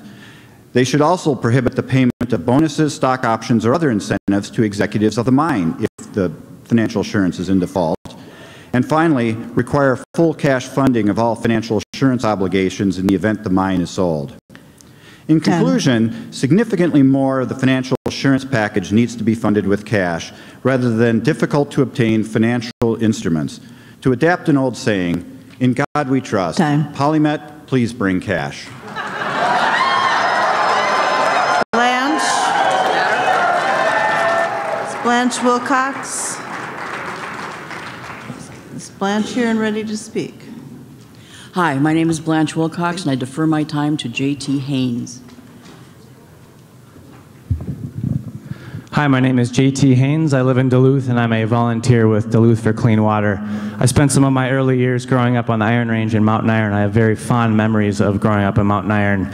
Um, the basic comment I want to make today is that uh, those of us in this area, we live downstream of this proposal. And as such, I think the, the very serious concerns you're hearing from downstream communities need deserve special respect. Um, I have three brief comments about the permits. First, as you know, medical professionals around the state have called for a health impact assessment on this project to measure cumulative impacts to humans. That study has not happened. I view this as a failure in the process and something the draft permits do not adequately address. Second, the U.S. Forest Service recently found that 28% of dams for this type of mining fail in the U.S. That rate is unacceptable in a water-rich environment. Since this process began, agencies have updated climate data, which confirms increasing frequency of heavy precipitation events in our area. My understanding is that these draft permits do not address the increased risk of dam failure to downstream communities. That is clearly a failure in this process. Third and finally, there has been no emergency response planning education with downstream communities like Fond du Lac, like Cloquet, Esko, Duluth, and others. The threat of dam failure is high, and the threat of spills and leaks is essentially 100%. It is unconscionable that downstream communities have not been educated and informed about dam failure rates, inundation analysis, and emergency response planning. How has that not happened? This is a fundamental failure in the process, and the permits should be denied on that basis alone. This has been a long process, but I think it's important that we remember. Are we okay here? Take a quick pause. We'll set your timer again. Yep. Everybody okay? Charlie, you all right? Someone tripped. It's okay. Okay. We don't want to interrupt your speaking time, so we'll Thank you. I'd just like to acknowledge this has been a long process, but I think it's really important, commissioners, that we recall that this is the moment of decision, and, and it, it's, uh, it's required of all of us, elected officials and commissioners, that we give this a fresh look with final details now. I expect you to do that. And I want to say I regret that my advocacy for the children of this area feels like advocacy against the children from my old hometown. That is not my intent. I like to think as Minnesotans we could agree that if our jobs harm or threaten our neighbors' children, as painful as it might be, maybe those aren't the right jobs. Glencore is not a good company. They have a horrible record of mistreating labor and the environment. I think it's obvious they would say anything for profit. I do not trust them. I don't think anyone in here should trust them either, blue hat or orange scarf. Commissioners, we believe this process has failed in fundamental ways, especially with regard to downstream communities. I urge you to reject the permits. If this goes forward, I believe we will have sold Minnesota to the lowest bidder and nothing would ever be the same again. We need a better option. Thank you. Sit. John, is John Fido available? John Fido. John's gone. Thank you for your help. Um, Corey Northrup? Looking for Corey? No? Corey? All right. Thank you. Is this where I'm supposed to stand? Okay. Yeah, it's okay. The yellow one? Yellow. Okay. Yeah, the yellow one's getting kind of underused, so thank you. Larry's lonely over there. Or underused yellow microphone. so when do I start? You tell me. Like go. We'll start, say your name Oh, and, and city, and we'll start when you start speaking. Okay, cool. Um, my name is Corey Northrup, K O R I I Northrup. Uh, I come from the Fond du Lac Band of Lake Superior, Chippewa. Um, I live over there on the reservation. Um, I've been there about four years, but I was born and raised in Duluth, so, you know, obviously Duluth has a big part of my heart. Um, I've heard a lot of people talk today about 500 years from now, and I stand here in front of you as sort of a relic of 500 years from the past. 500 years ago, we didn't worry about poisoned water. We didn't worry that we would not have enough wild rice to feed our families. We didn't worry about game. We came here to our promised land, the Anishinaabe people.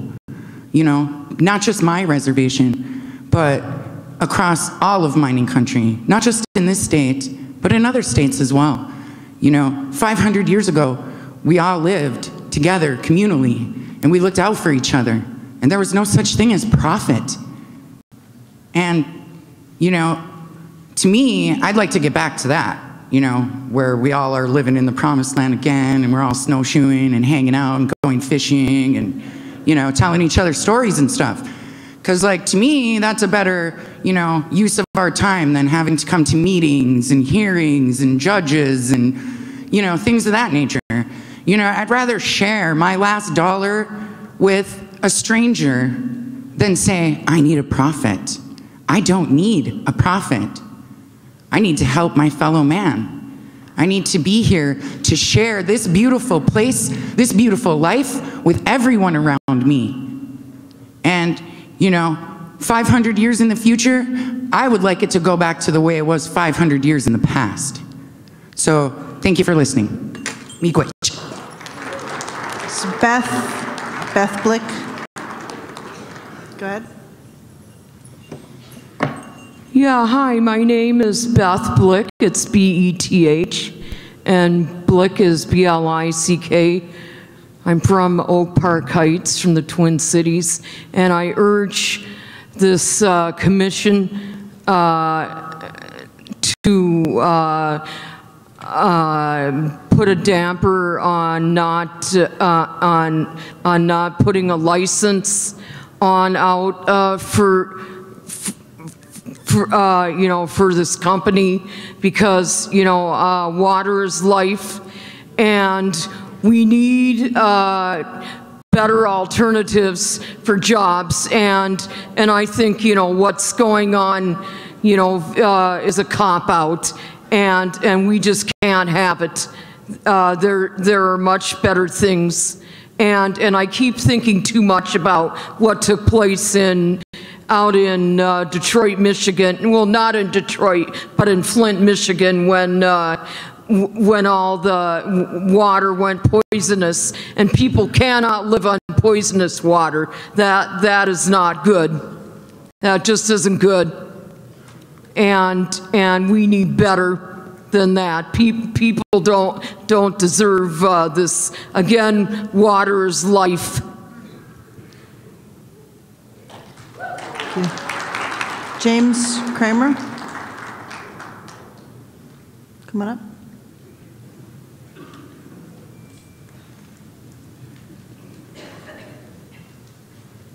Hello. My name is James Kramar, K R A M A R. I'm a resident of White Lakes, Minnesota, and I support Polymet and defer my time to Peter Haynes. Hello my name is Peter Haynes. I'm the CEO of GPM, a 40-year-old uh, pump company located in Duluth. We manufacture the world's toughest submersible slurry pumps. They're cased in cast iron. They're loaded with copper wound motors and alloy steels that contain copper and nickel. Uh, we support over 50 families, families regionally and over 1,000 families if you factor in our 48 North American distributors and our global marketing partners. We all support mining. Today started like it does pretty much every day for me, and likely how it started for everybody that's here in the audience tonight, whether you support Polymet or not. My alarm went off at 5.30. And I was thankful for the electricity provided by Minnesota Power. When shutting off my alarm, I noted my house was warm, and I was thankful for Como Oil delivering propane produced at an oil and gas refinery so I can heat my home. I went to the kitchen, turned on the water, and made my wife coffee, and was thankful to the water treatment plant for providing water at the turn of a spigot. I then visited the bathroom, and after flushing the toilet, was thankful for our local wastewater treatment plants and their processing abilities. I opened the fridge and I selected the food and beverage that I wanted for breakfast and was thankful I live in the USA, home of the world's most efficient and effective farmers. I showered, I dressed, I drove through the frigid cold to work, and was thankful that core human ingenuity in businesses allow my family to live and reside in northern Minnesota. The fact is, I'm happy to live in a house. Most of you probably don't realize that a typical home, single family home, 2,100 square foot, uses 439 pounds of copper. Like it or not, if you live in a house, an apartment, a mobile home, or any type man made dwelling, then by default, you support copper and nickel mining. Everything you use every day is manufactured and produced by equipment that's made from steel alloys that contain varying fractions of copper and nickel. That means if you consume electricity, use natural gas or propane, turn on a faucet for water, eat food or beverage products that you've purchased, if you flush a toilet, ride a bike, drive a car or a truck, by default, you support copper and nickel mining. Unless you're living off the grid, off the land, and walk everywhere you go and handmade everything, by default, you support copper and nickel mining. Minnesota surpasses all states in protecting and leveraging our natural resources. From a first personal standpoint, the Boundary Waters are as pristine and fresh today as they were the first time I went there with my dad 50 years ago. If you live in Minnesota, 10. You need to support Polymet. You need to support mining. You can't live as you do today without copper and nickel metals that Polymet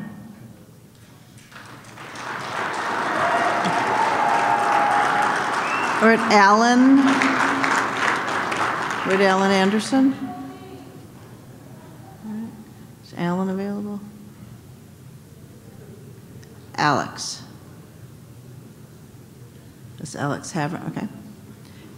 Don't hesitate to come up before your turn so we can keep going quickly. Hello, I'm Al Anderson from uh, Hermantown, Minnesota. I'm not much of a speaker, but I got to say what I need to say. Um, Just get a little closer to the mic. I'm Alan Anderson from Hermantown, Minnesota. Um, I hunt and fish in this area. I, I'm grateful for the miners for what you did in the past, for making steel and everything, for the wars we went through. But this is a different animal with sulfide mining. Sulfide mining, you got to make the dams, whatever, last 500 years, whatever. And I talked to these people out here. They said, oh, there's going to be a 255 berm. I didn't know that. They're DNR people. Am I supposed to trust these people? I'm not sure. I went through the, what, the school trust land thing back about four or five weeks ago. And I said, is this land going to be for mining or anything? Well, yes, it was. They didn't tell me that. They're dishonest with me. Don't trust them. Because I found out a couple weeks later, uh, Twin Metals had interest in it. Did I know that? Were they honest with me? No, they put a facade on. I don't trust the DNR. I used to, not no more. Now, my thing is, water is precious. When I grew up, population of the United States was 225 million. Now it's 325 million.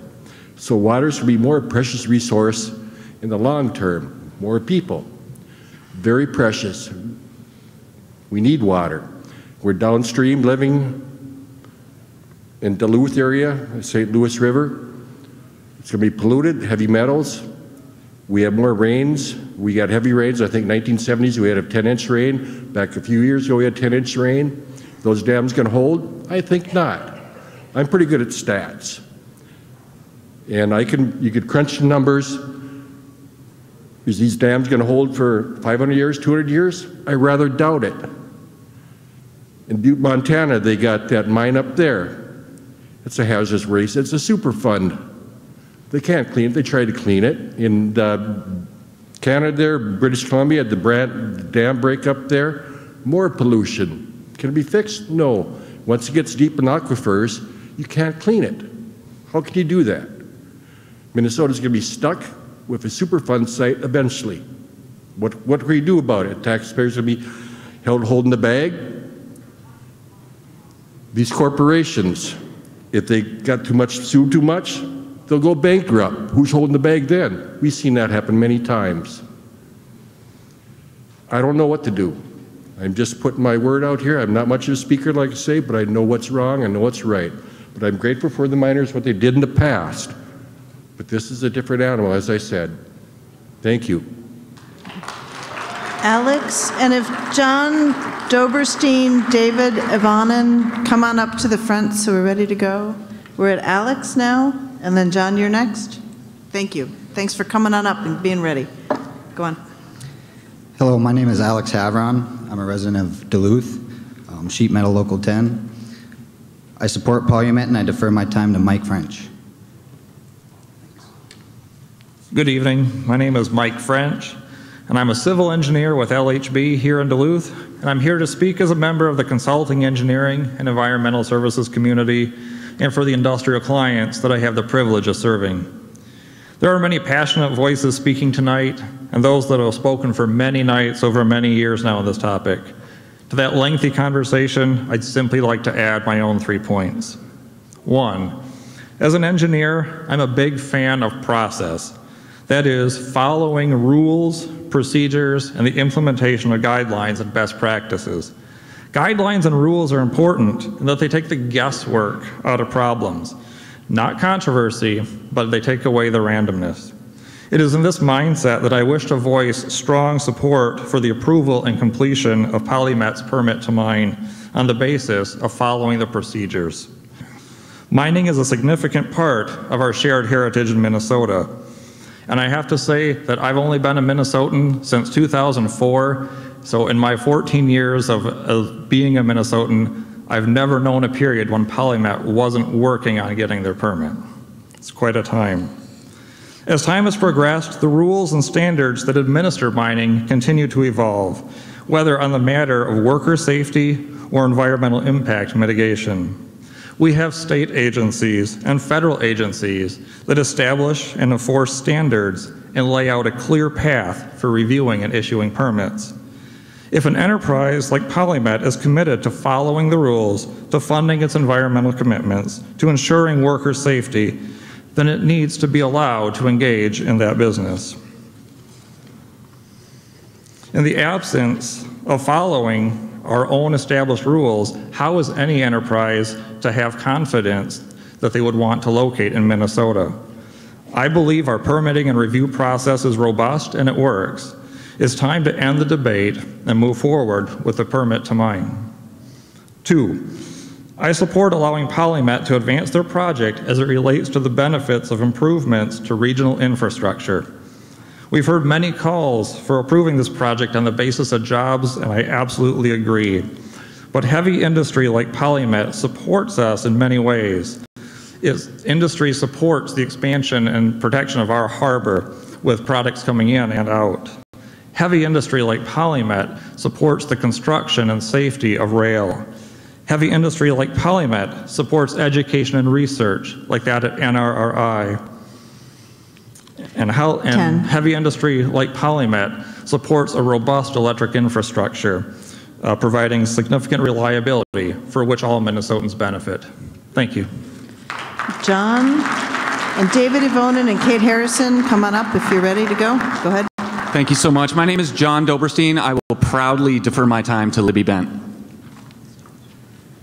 Hi, I'm Libby Bent, um, downstream resident of Duluth, and I oppose the issuance of any permits. As my father observed, the sheer complexity of the chemistry, hydrology, and geology involved in sulfide mining without irreversible pollution in our water-rich environment boggles the mind. It's never been done because the cost would be huge, far in excess of the value of extracted metals. A more far-fetched industrial initiative is difficult to imagine. So what is going on? How did this plan make it past a federal law designed to protect watersheds, headwaters on Forest Service land? A state law requiring sulfide mines to be maintenance-free on closure, and treaty rights to hunt, fish, and gather on ceded territories requiring high biodiversity lands. Why was the call for a health impact assessment ignored, even as 30,000 health professionals requested one?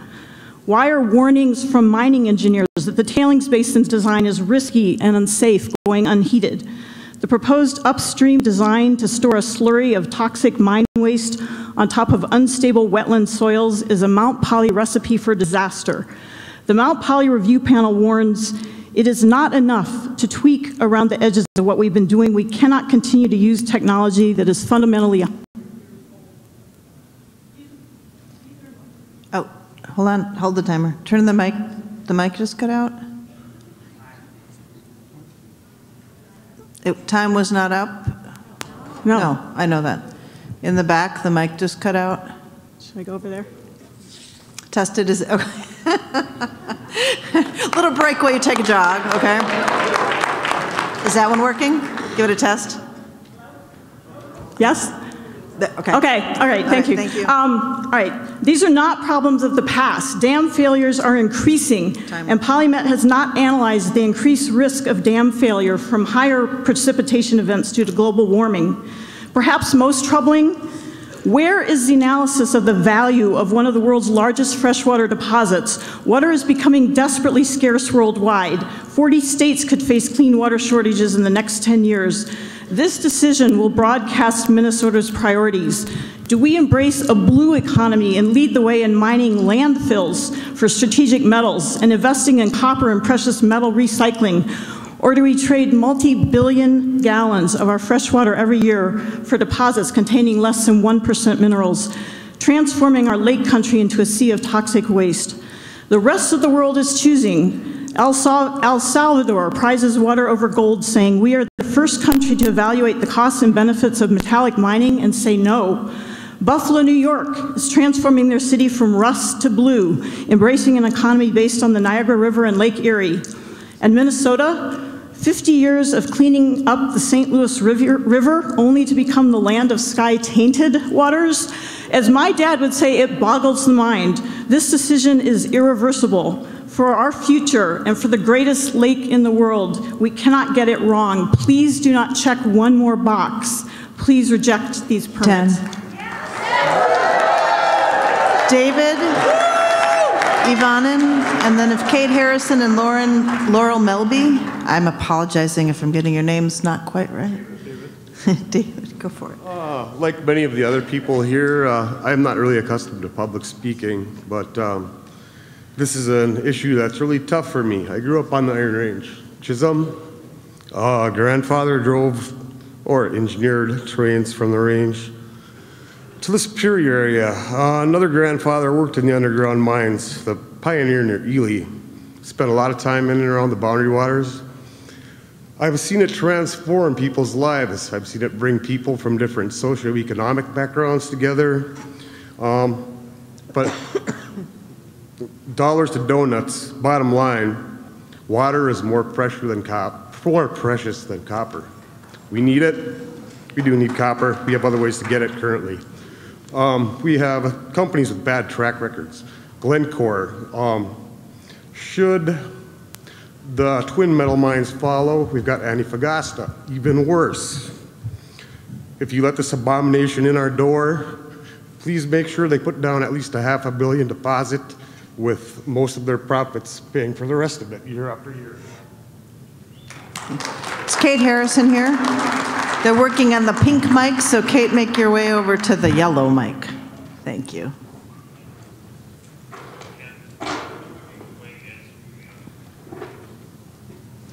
Kate Harrison, AJRR IS1. I'd like to read a statement from Rebecca Otto, State Auditor and candidate from Governor on the Polymet draft permit to mine. The, the draft Polymet permit to mine allows Polymet to store mine waste in a dangerous, outdated way that puts people and water downstream at risk. I oppose the draft permit for Polymet's sulfide mine proposal because Polymet has not listened to the public and experts who oppose the dangerous way it stores mine waste. And the hundreds of years of pollution and the over 1 billion that is at stake. The draft permit sets a 1 billion figure needed to reclaim the site and pay for long-term water treatment during the middle of the proposed mining. However, reliance on bonds Polymet has not proven they can acquire, failure to require Polymet to update their financial feasibility study, and the low 2 million per year required contributions to the long-term water trust fund in the first half of the proposed mine mean taxpayers are not protected. The draft permit assumes Polymet will achieve an impossible level of capturing polluted water and use reverse osmosis water treatment for at least 55 years after the mine would close. Environmental review showed that water could be polluted for over 500 years. The NorthMet environmental impact statement asserted Polymet would capture and treat over 90% of the contaminated, contaminated groundwater, but the draft permit does not require it.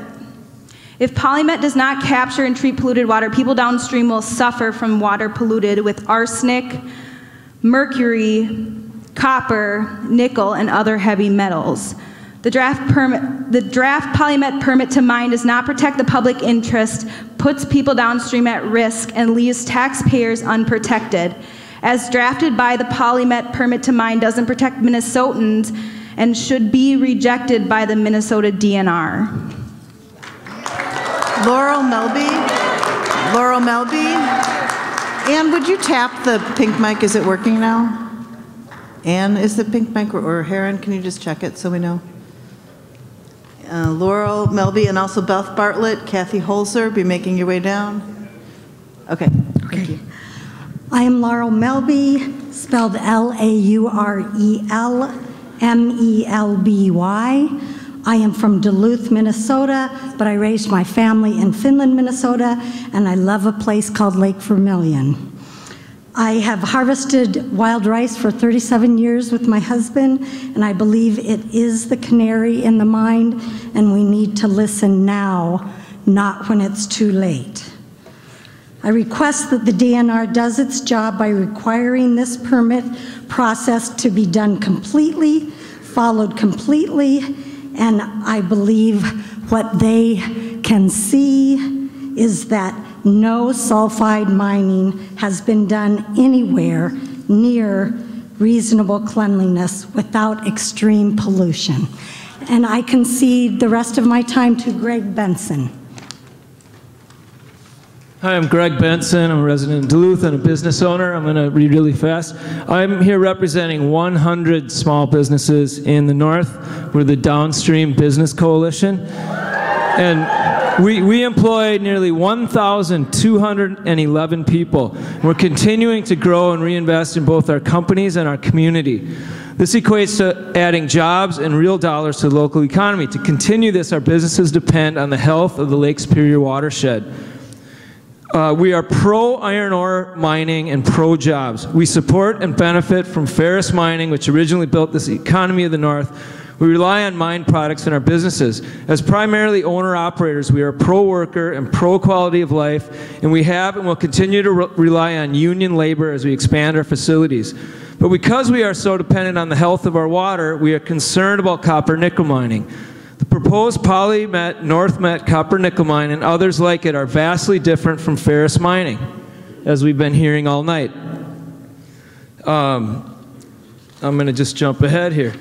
Uh, we trust that PolyMet intends to meet all applicable regulations, but our concerns are based on the track record of similar projects.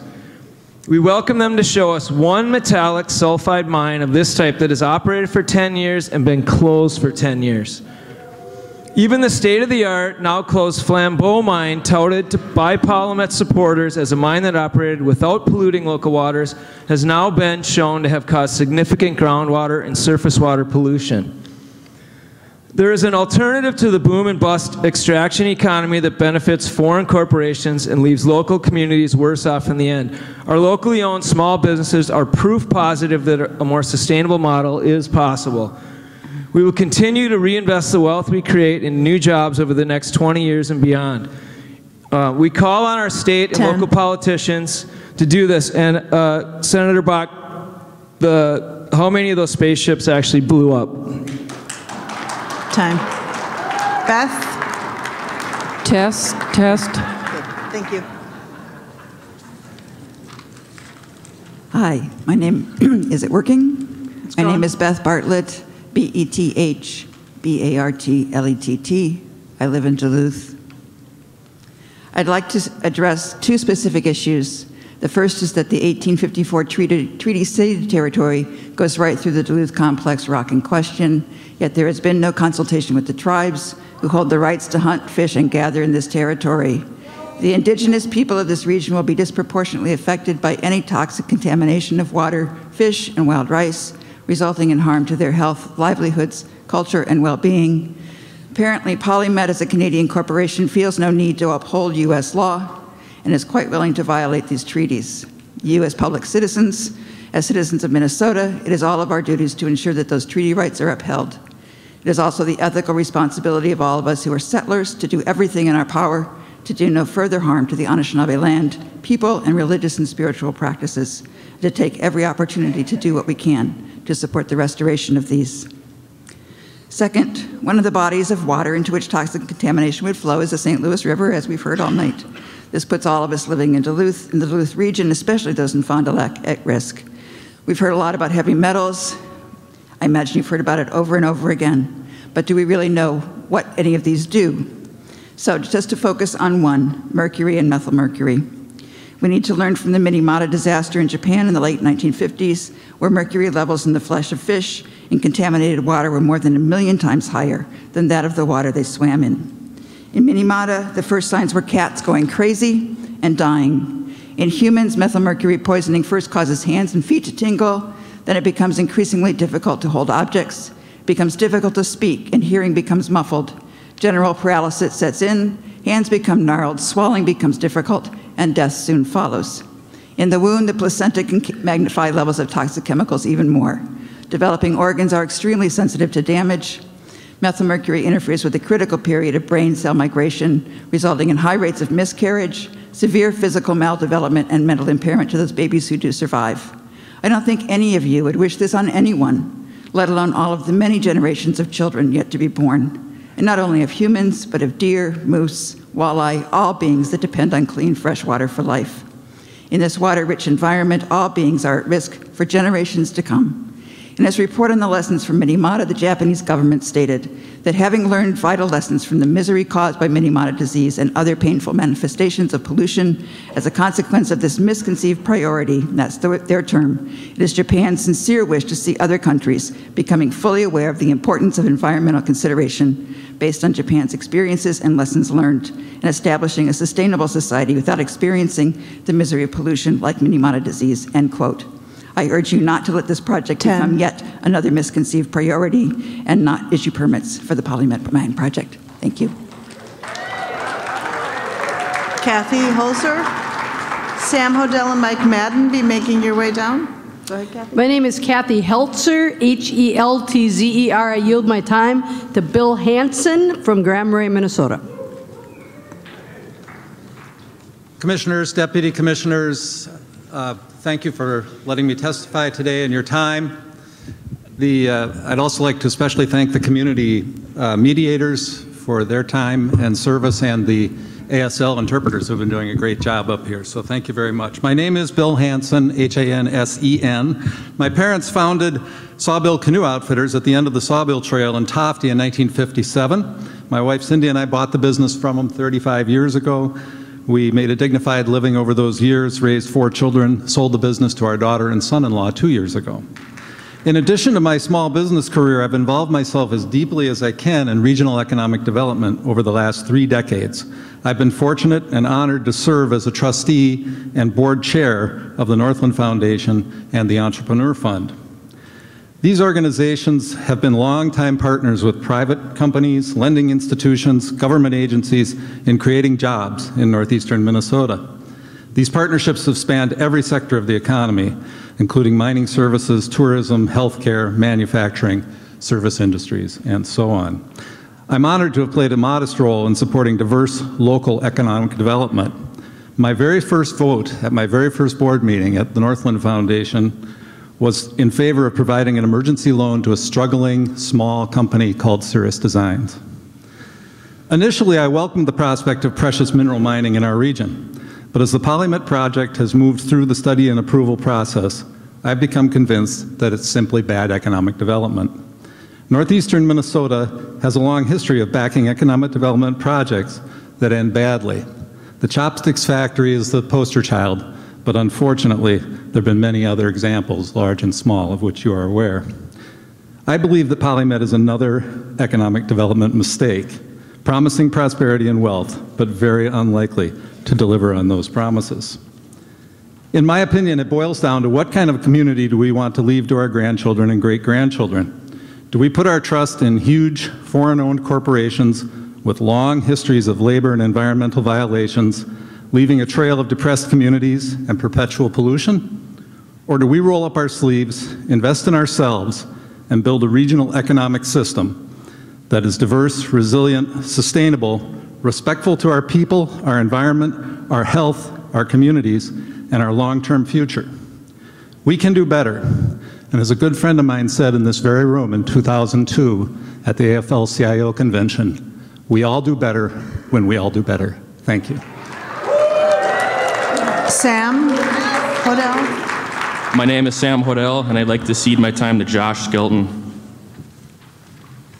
Hi, good evening. My name is Josh Skelton, S K E L T O N, and I reside in Coleraine, Minnesota, uh, but I grew up in Hoyt Lakes.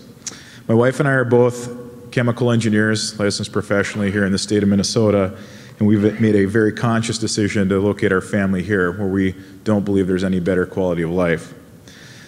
I'm here tonight to urge the Minnesota Pollution Control Agency and the Department of Natural Resources to grant these permits in a timely manner because the proposed Polymet NorthMet project will provide consequential impacts to our region and our way of life. In a time where our region has been decimated from a lack of professional opportunity, this NorthMet project brings hope in the form of an estimated 1,000 jobs. These types of jobs and wages that come from building and operating and maintaining a project of this scale will have long term benefits on a region where the very social and moral fabric that makes it so unique has become storied in history books instead of the reality in our own front yards. The ability to work and live in this area has been hanging in the balance as the science and technology proposed with this mining operation has been vetted deeply and with the review of your agencies deemed adequate to provide a framework to protect all that we cherish. Your work has been important to help us assure that those same things we hope draw and retain our families will be with us for a long time and not just a season and we can coexist with this mining operation.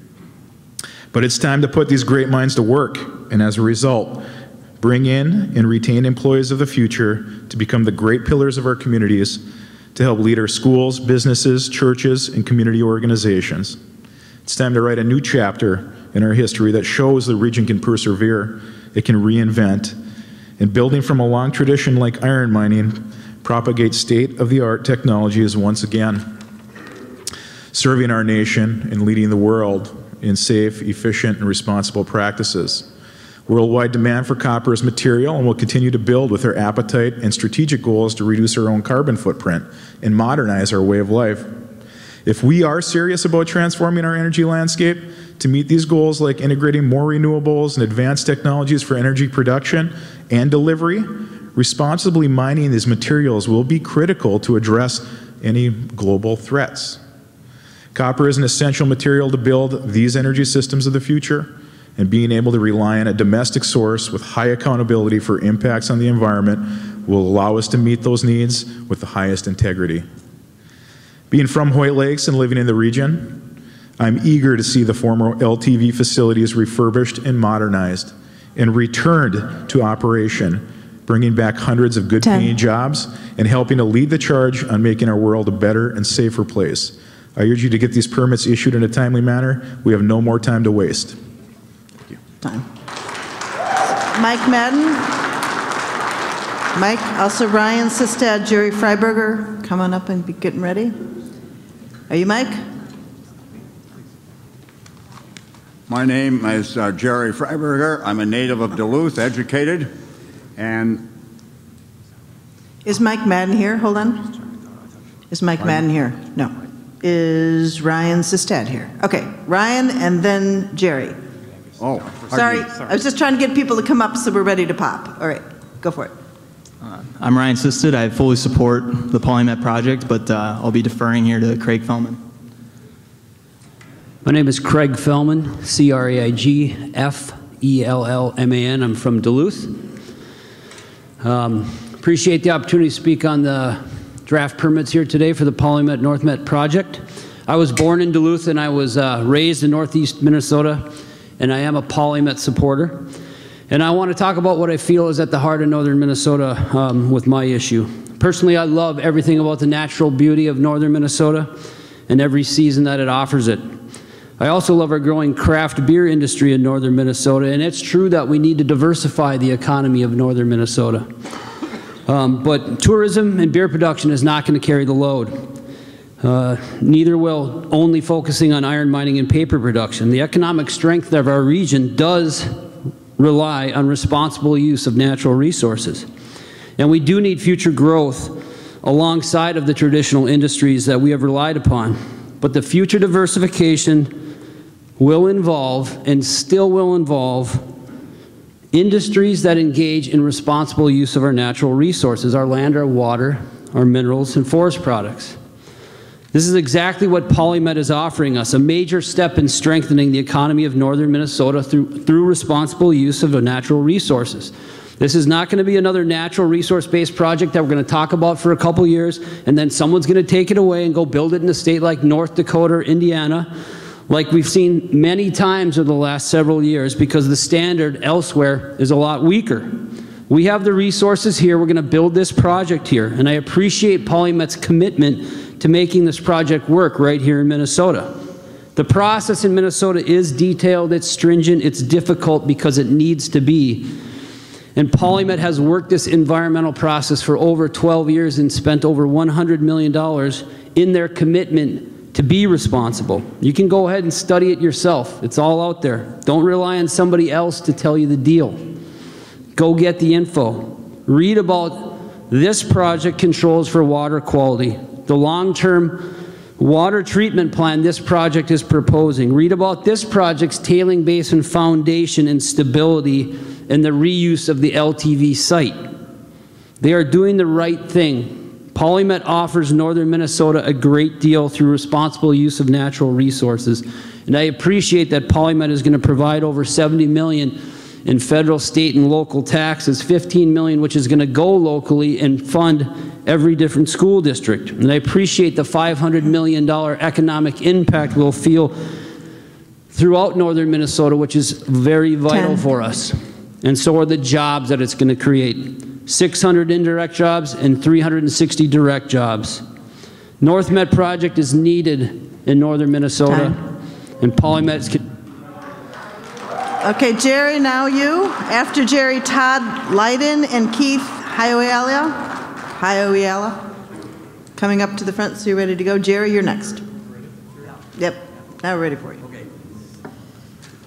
Thank you. Um, I appreciate uh, uh, the representatives from the MPCA and the Department of Natural Resources, of State of Minnesota. Uh, my name is Jerry Fryberger, F as in Frank, R-Y, B-E-R, G-E-R. I'm chairman of the board of Hallett Dock Company, a local company, and uh, I'm a lifelong resident of Duluth. And I am one of these people who thinks that uh, our co-lead agencies and along with Polymet and all kinds of other uh, consultants have done a superlative job. I am very proud to be a Minnesotan. I am very proud of the Polymet project and the thoroughness and the level of excellence that happened. Uh, over the past 11 years of responsibly addressing the environmental and processing challenges, we have watched this project gradually um, develop. Uh, from its infancy, when we did the initial drilling to define the extent of the ore reserve, uh, to the design of mine, power, rail, and other uh, project infrastructure, decades of unprecedented, in-depth, respectable research Uh, of the mining process to ensure protection of our air and water from possible toxic wastes, the enlightened, visionary, and responsible collaboration of regulatory agencies, namely the EPA, the Corps of Engineers, the U.S. Forest Service, the Minnesota Department of Natural Resources, and the Minnesota Pollution Control Agency have done a superlative job of working together and working through the difficult challenges of this new operation. Continuing the rich heritage of Minnesota's mining industry, a major contributor of America's industrial growth and national security, Minnesotans should be proud of this project. After more than a decade of persevering effort and expenditures in excess of $300 million to develop environmentally responsible mining and processing practices, Polymet will arguably be the benchmark of copper nickel mining not only in Minnesota but in North America as well. They will provide the minerals so necessary to produce the technological advances in support of our nation's ever increasing standard of living while providing the jobs and taxes to support our local Iron Range communities. Uh, what's happened here under the uh, wonderful leadership of these co-lead agencies in Polymet, progress that Polymet has made in the past 11 years in the development of Minnesota's first non-ferrous copper nickel mine is certainly a milestone an important milestone in which our mining industry will now no longer be judged upon mining, how mining was done more than a century ago, 1870s, or even decades ago, but rather by the state of the art of present mining technology and enlightened environmental Ten. standards based upon the science of this 21st century. I thank you very much. Todd Lydon. My name is Todd Lydon. I'm a strong supporter of Polymet NorthMet project, and I defer my time to Pat Mullen. Good evening. My name is Pat Mullen. I'm Senior Vice President of External Affairs for ALLETE, which is the parent company of Minnesota Power. What a special, high-quality environment and beautiful outdoors we have here in northeastern Minnesota. The Boundary Waters and the Superior National Forest are gems that attract millions of visitors to our region and form a playground for people lucky enough to live and visit here. Some people frame the decision on Polymet's permits as pitting the economy against the environment, and for a number of reasons, I believe those can coexist. Polymet's mining proposal is an opportunity that shouldn't be squandered. The economic benefits of this project are significant and will help support hundreds of families in northeastern Minnesota for decades to come. Hundreds of new good paying jobs, millions of dollars in spending right here in northern Minnesota, as well as new tax revenue for state and local governments. Minnesota has some of the toughest environmental standards in the nation.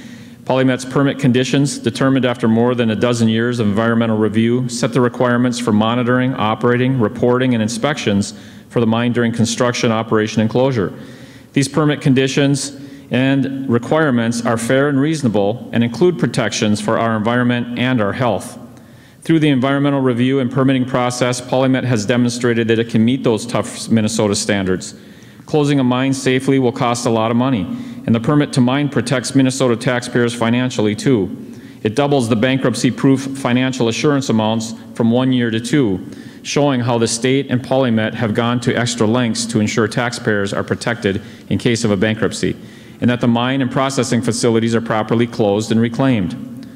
Taken together, the permit conditions and financial assurances provide a path for mining and environmental protection to coexist while making sure the mine will be safe and responsibly closed when that time comes. From a utility perspective, the metals PolyMet will produce are essential to our quality of life and especially to the production of clean energy. Copper is a critical component of the transformation of the nation's energy landscape. It's used in large quantities with wind turbines and solar arrays and used in the wires needed to get that carbon-free energy to customers. Electric cars require copper too, along with nickel, a key ingredient in the batteries that fuel them. As our nation moves ever forward in clean energy, we're going to need more and more of these metals. Mining these metals in the United States and right here in northeastern Minnesota under our tough standards, rather than a faraway country that might not offer the same environmental protections, makes good sense for our nation. Let's open a new chapter for mining on the Iron Range with Polymet and not squander the opportunities so we can prove that copper nickel mining and clean environment can coexist while also boosting the fortunes of a part of Minnesota that could use some good financial news right now. Thank you for your time and the opportunity Ten. to address this important issue. Keith. Keith Hayoyala. Aurora Bear.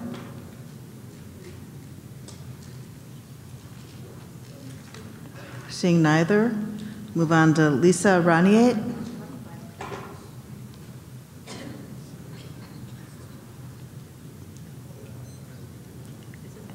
Anna Lanimi.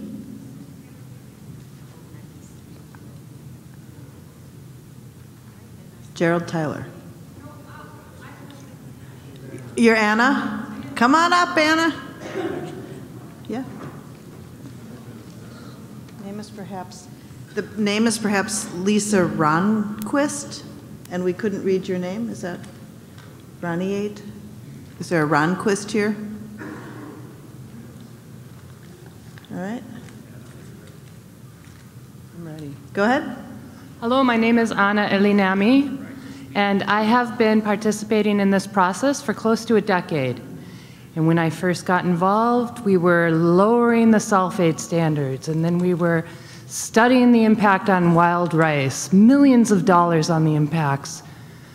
Then we are changing land exchange uh, legislation, and it's one thing after another, and we're, we've supposedly got these strong mining laws that we don't necessarily follow, and they get they get changed behind closed doors.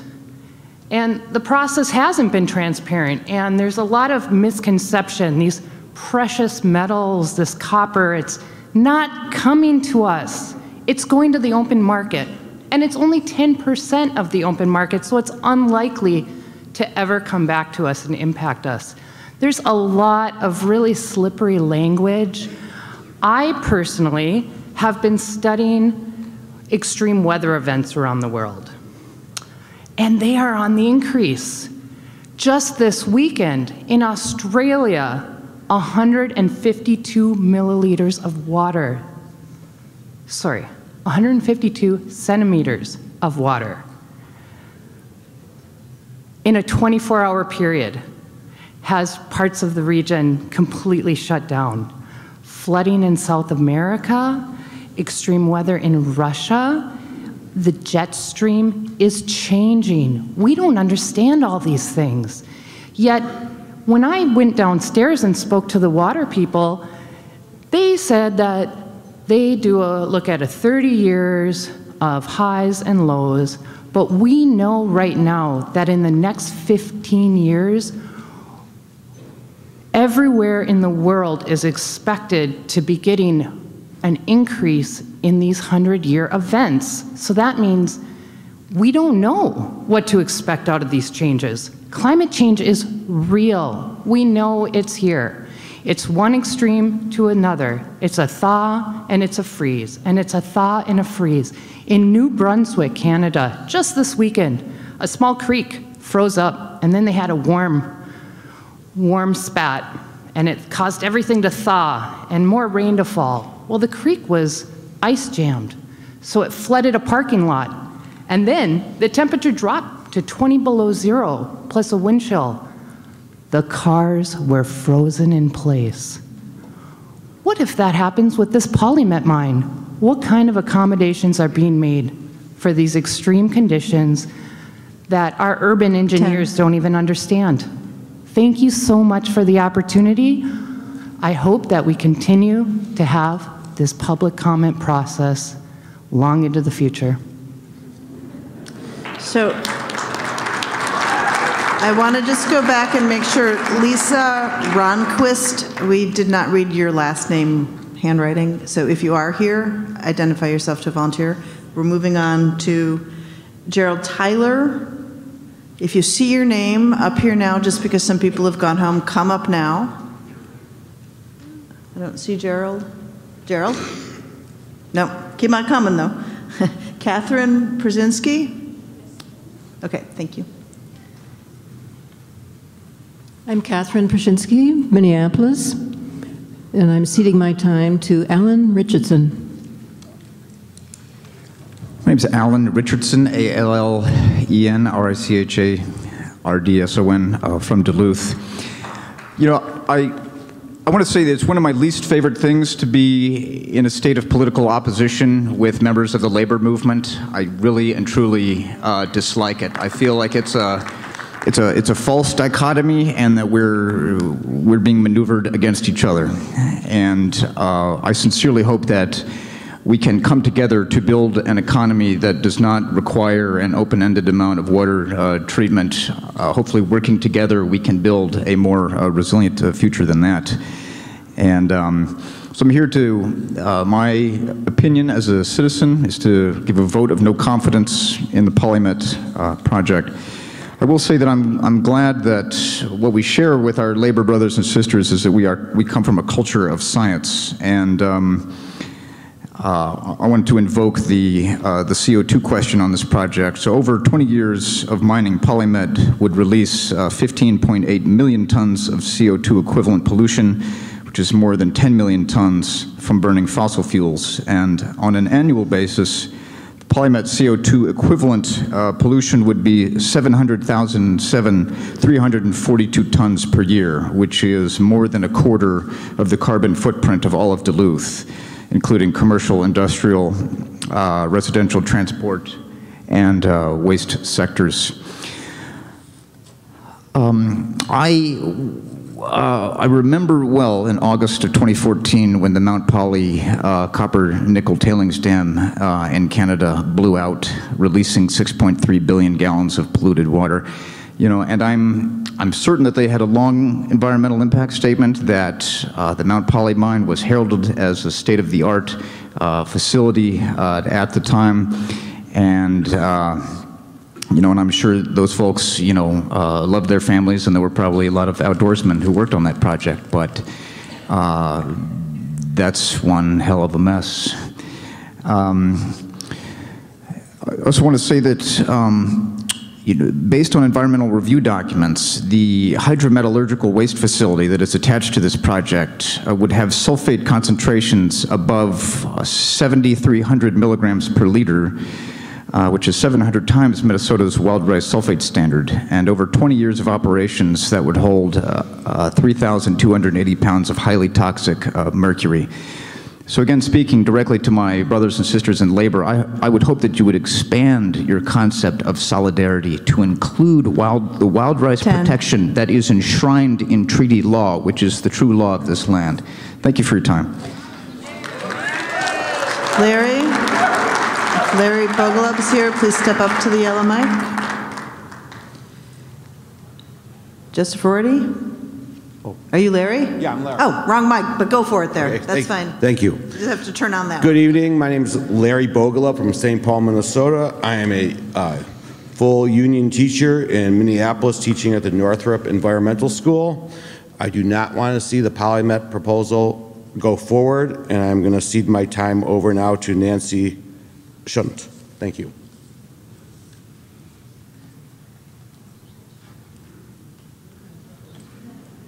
Thank you. Can I speak from the yellow mic? Yeah. As long as it's on. Is it on? Yep. Thank you. I'm Nancy Schuldt, N-A-N-C-Y S-C-H-U-L-D-T. I live in Duluth, but for the last 20 years I've worked for the Fond du Lac Band as their water quality specialist. And it's been a long 12 years um, of trying to understand what this project is going to do and how it can potentially be done in accordance with state and federal rules. Um, along with my other tribal counterparts, we've spent a lot of time preparing and submitting very detailed, very extensive, very substantive comments for the last 12 years. And yet, it's been really frustrating to see so little of that expertise that has come from the tribes reflected in the environmental review, the results of that environmental review.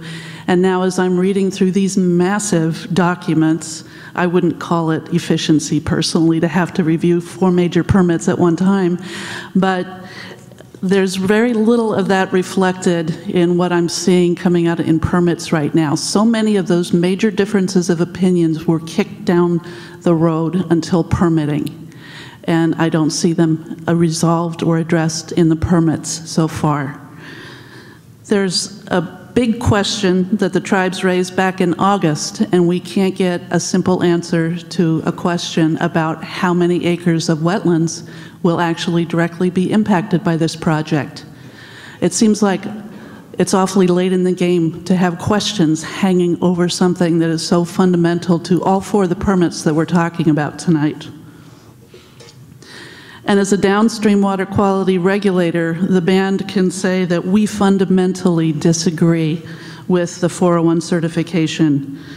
We know that the existing mines and the way they are regulated in this state with all of its stringent environmental regulations are polluting waters already. And that there's nothing in the proposal for this project, in the permits for this project, that give me any kind of confidence or provide any evidence that this project will control its water pollution either. So I'll be submitting another round of substantial and extensive comments on all four of these permits. 10. Thank you. Joseph, Joseph Rorty.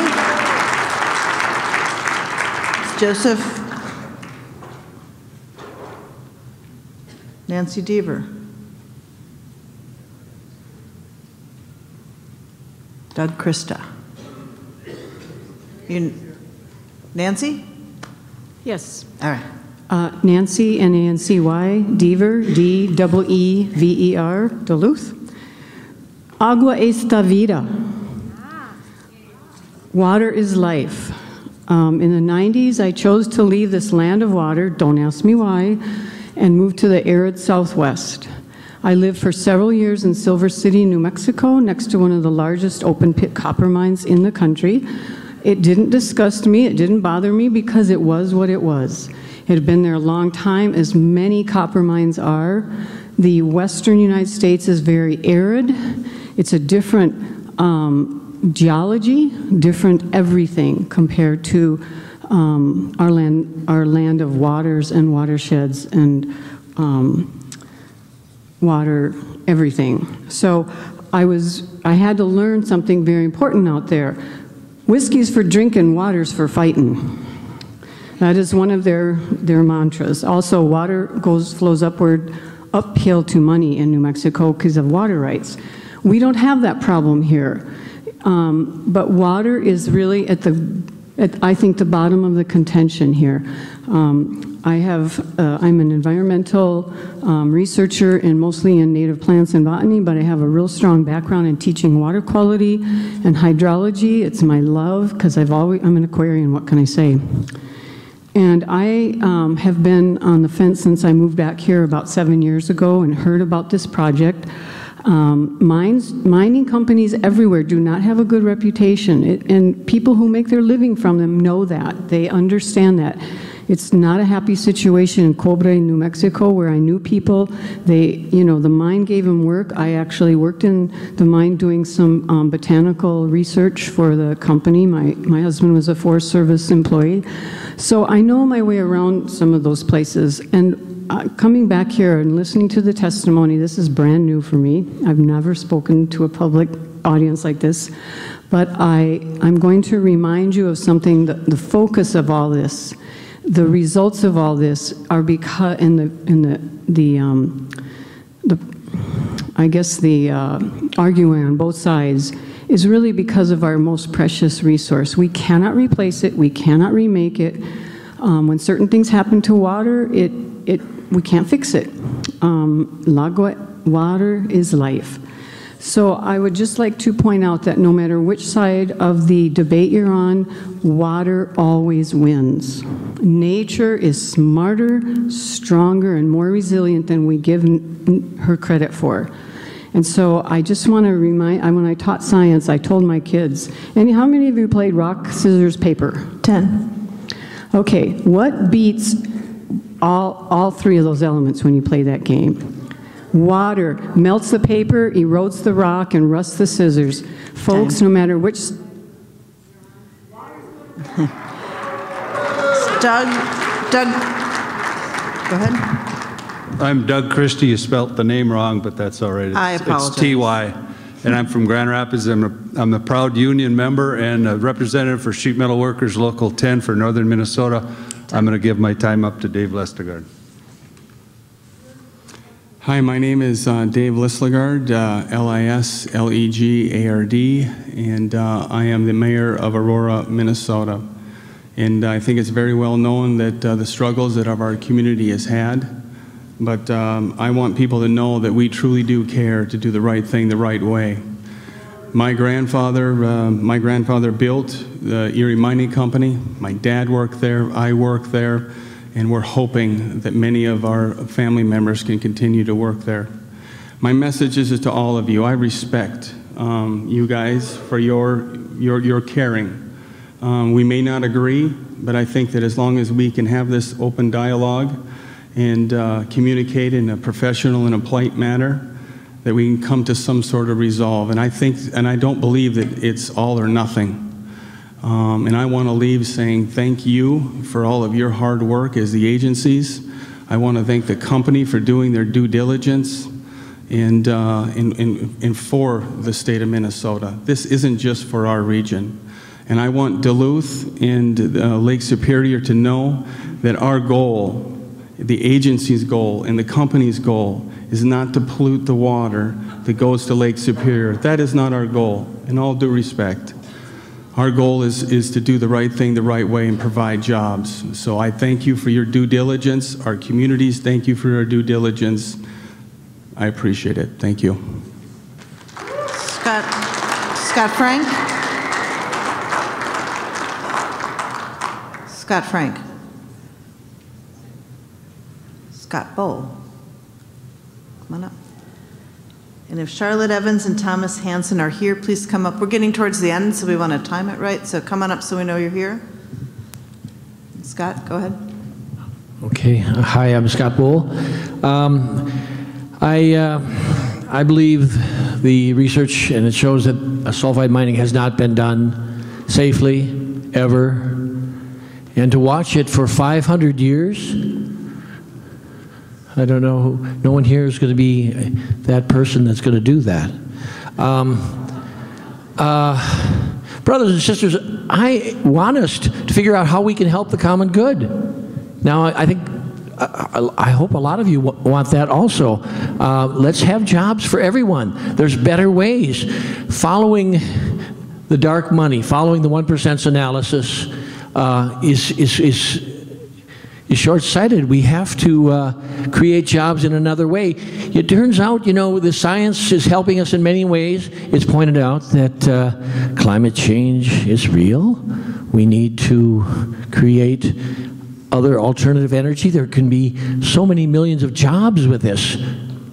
Um, you know, they, they retooled after World War II, during World War II, after the bombing of, of uh, um, Pearl Harbor. So let's uh, retool and move away from uh, uh, all these uh, fossil fuels. We, we, we can do it. We can create the jobs. There's other ways, but following the corporate analysis, the dark money, the 1%'s ideas of where we should get our jobs, this kind of mining is not safe. It's not been done. So we have to look at other ways. There's so many other options. We have to look for the common good.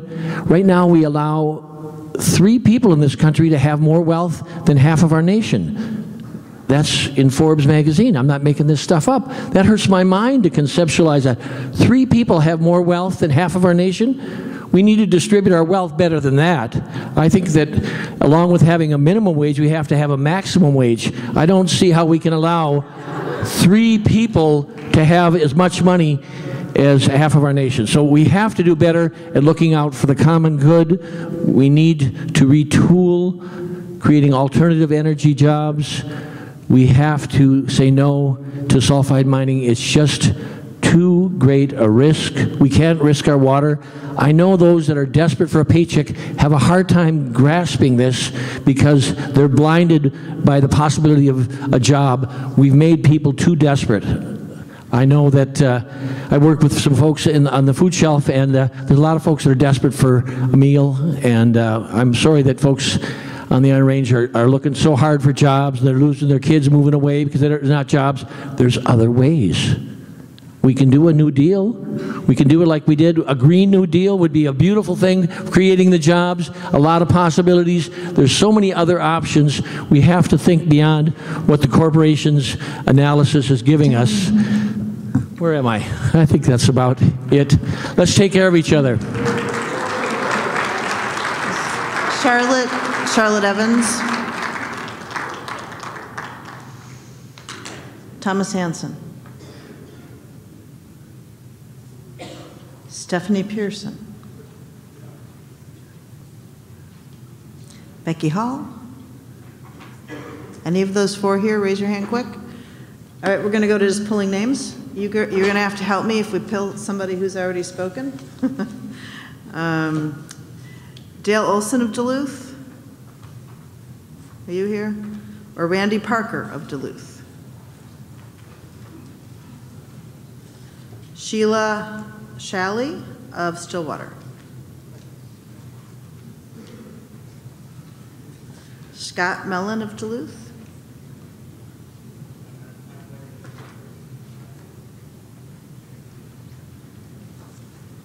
Jessica Bleichner of Brainerd. Thank you, come on up. While you're walking, I'm going to pull another name just to see. JT Haynes. Here, already spoke. Thank you for your help. All right, Jessica?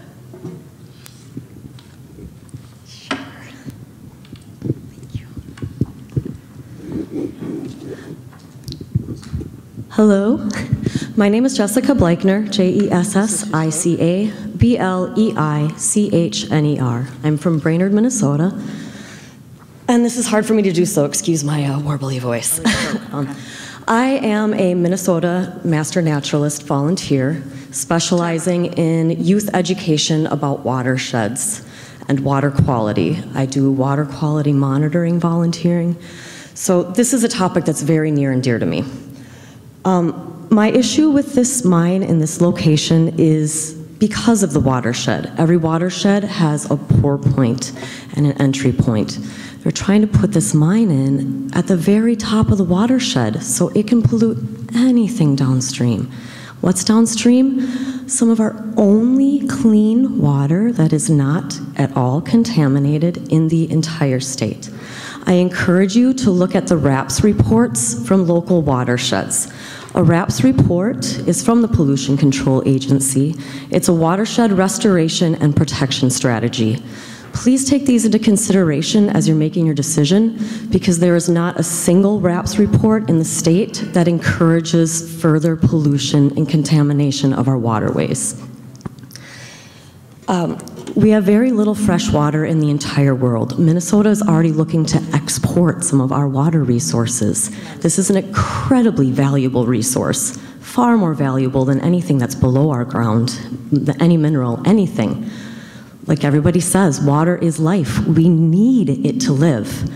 Um, I have my children here with me tonight that I educate, along with many others in the community. And what we teach them is that it's very important to take very, very, very high considerations as to what kind of developments that we are going to be making to affect these future resources. The risk is just far too great with this mining proposal. Um, water is a closed dynamic system, so nothing ever leaves it. What we put into it, we generally cannot take out. So risking what very, very, very little clean water we have left on this planet as a resource just does not make sense for our future generations. With that also in mind, uh, this is a boom and bust system. This is not going to be a long-term uh, benefit to our state, in my opinion. So when it busts, who's left with the cost? It's not going to be us, it's going to be our kids. I care so very much about our future generations and what are they going to have to drink? What are they going to have for life if we contaminate everything? We can't do this, please. Um, also, this is public land. How is leasing this to a private company going to benefit me wanting to access these public lands? How can I go benefit from that forest? How can I benefit from these lakes that are public lands that are supposed to be accessible by everybody if it is under the control of a private corporation? 10. I just want to say thank you to all the water protectors that have been working just as diligently for the decade that this has been going on. I've been here with you for five years of it. Let's keep on going. Please take this into consideration. Is Kim Davis from Shakopee here? Kim Davis from Shakopee? Are you Kim?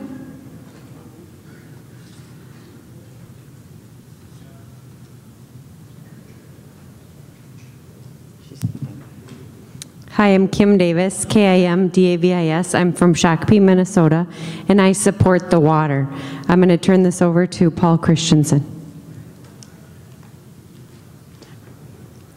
Hi, good evening. I'm Paul Christensen, uh, Kim's husband. Thank you very much for the opportunity to speak. Uh, I will keep it very short since we're at the end of the session. Um, I'm a U.S. Navy veteran for clean water. Uh, my wife and I, my wife and I own property in Lake County, and we will be building a house and moving to this region in about five years.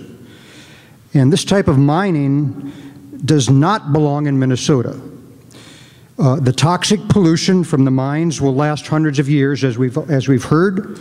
Uh, there's no guarantee that it'll be cleaned up, even though they say it will. Uh, PolyMet and Glencore are only in this for short-term profit. Please do not issue the permits. Thank you. Julius Salinas from Esko. Julius, that, are you raising your hand because you're Julius? Right there? Okay. Um, let's see, we have Brian Rochnick. Brian here?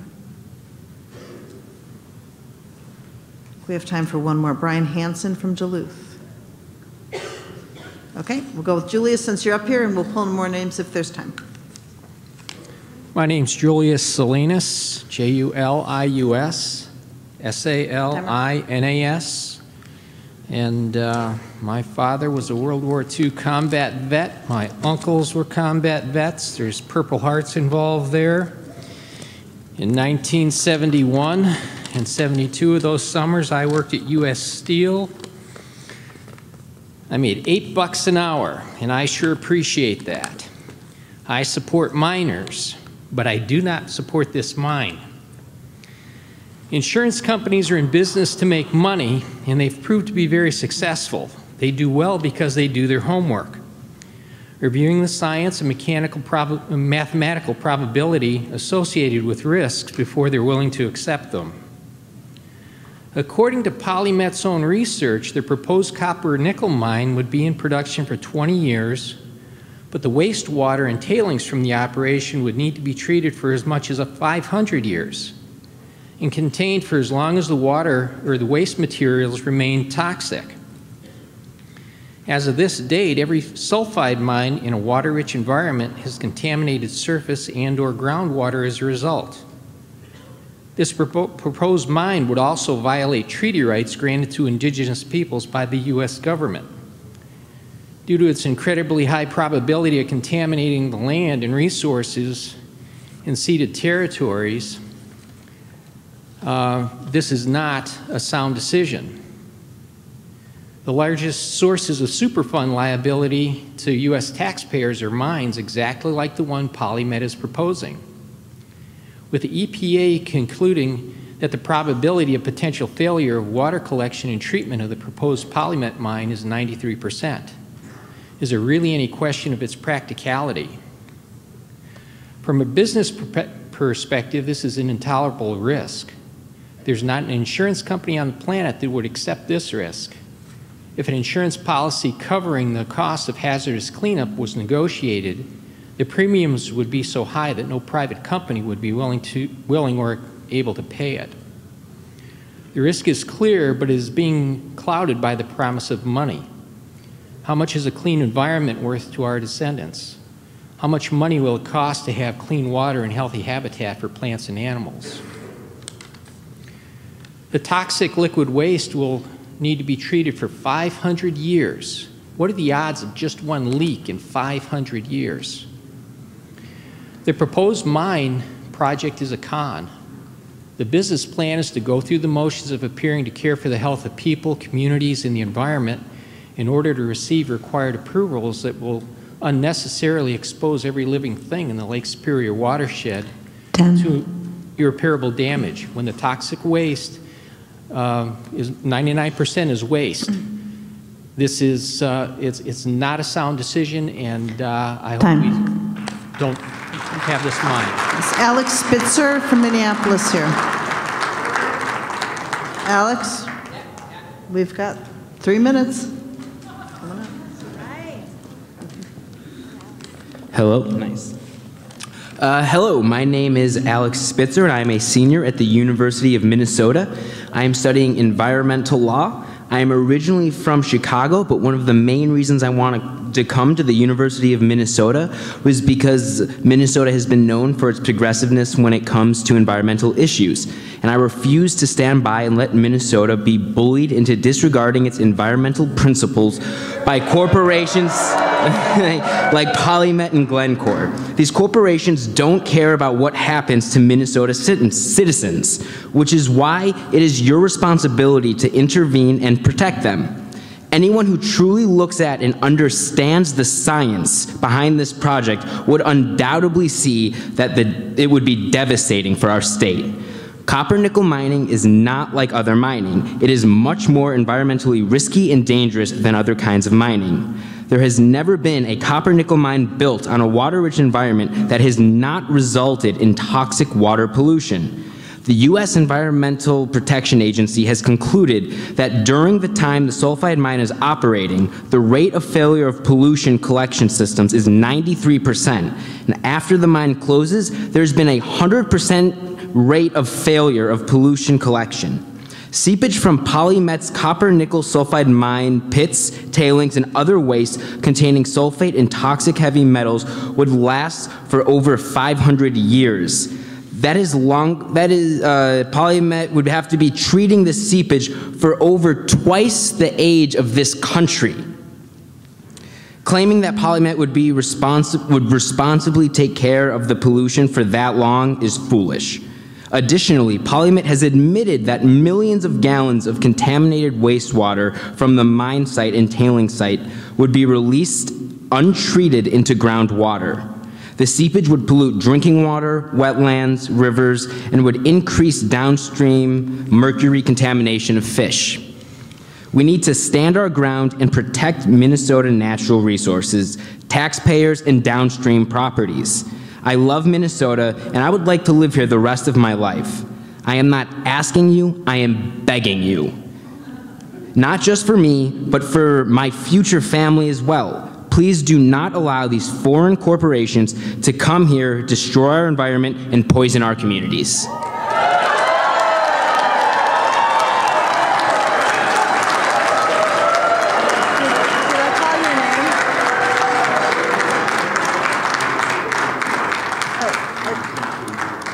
So I called um, Brian Hanson? Okay, so I called his name and I did not see him here, so Brian, you'll be the last speaker tonight.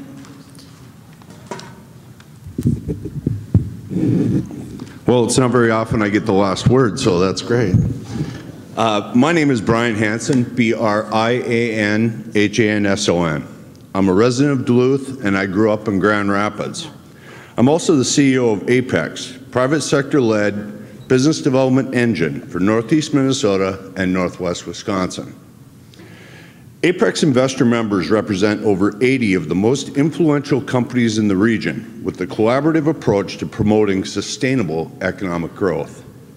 Today, I'm here to urge the DNR and MPCA to respect the long, fair, and informative process that's been completed by issuing the permit to mine, along with related permits for the PolyMet NorthMet project.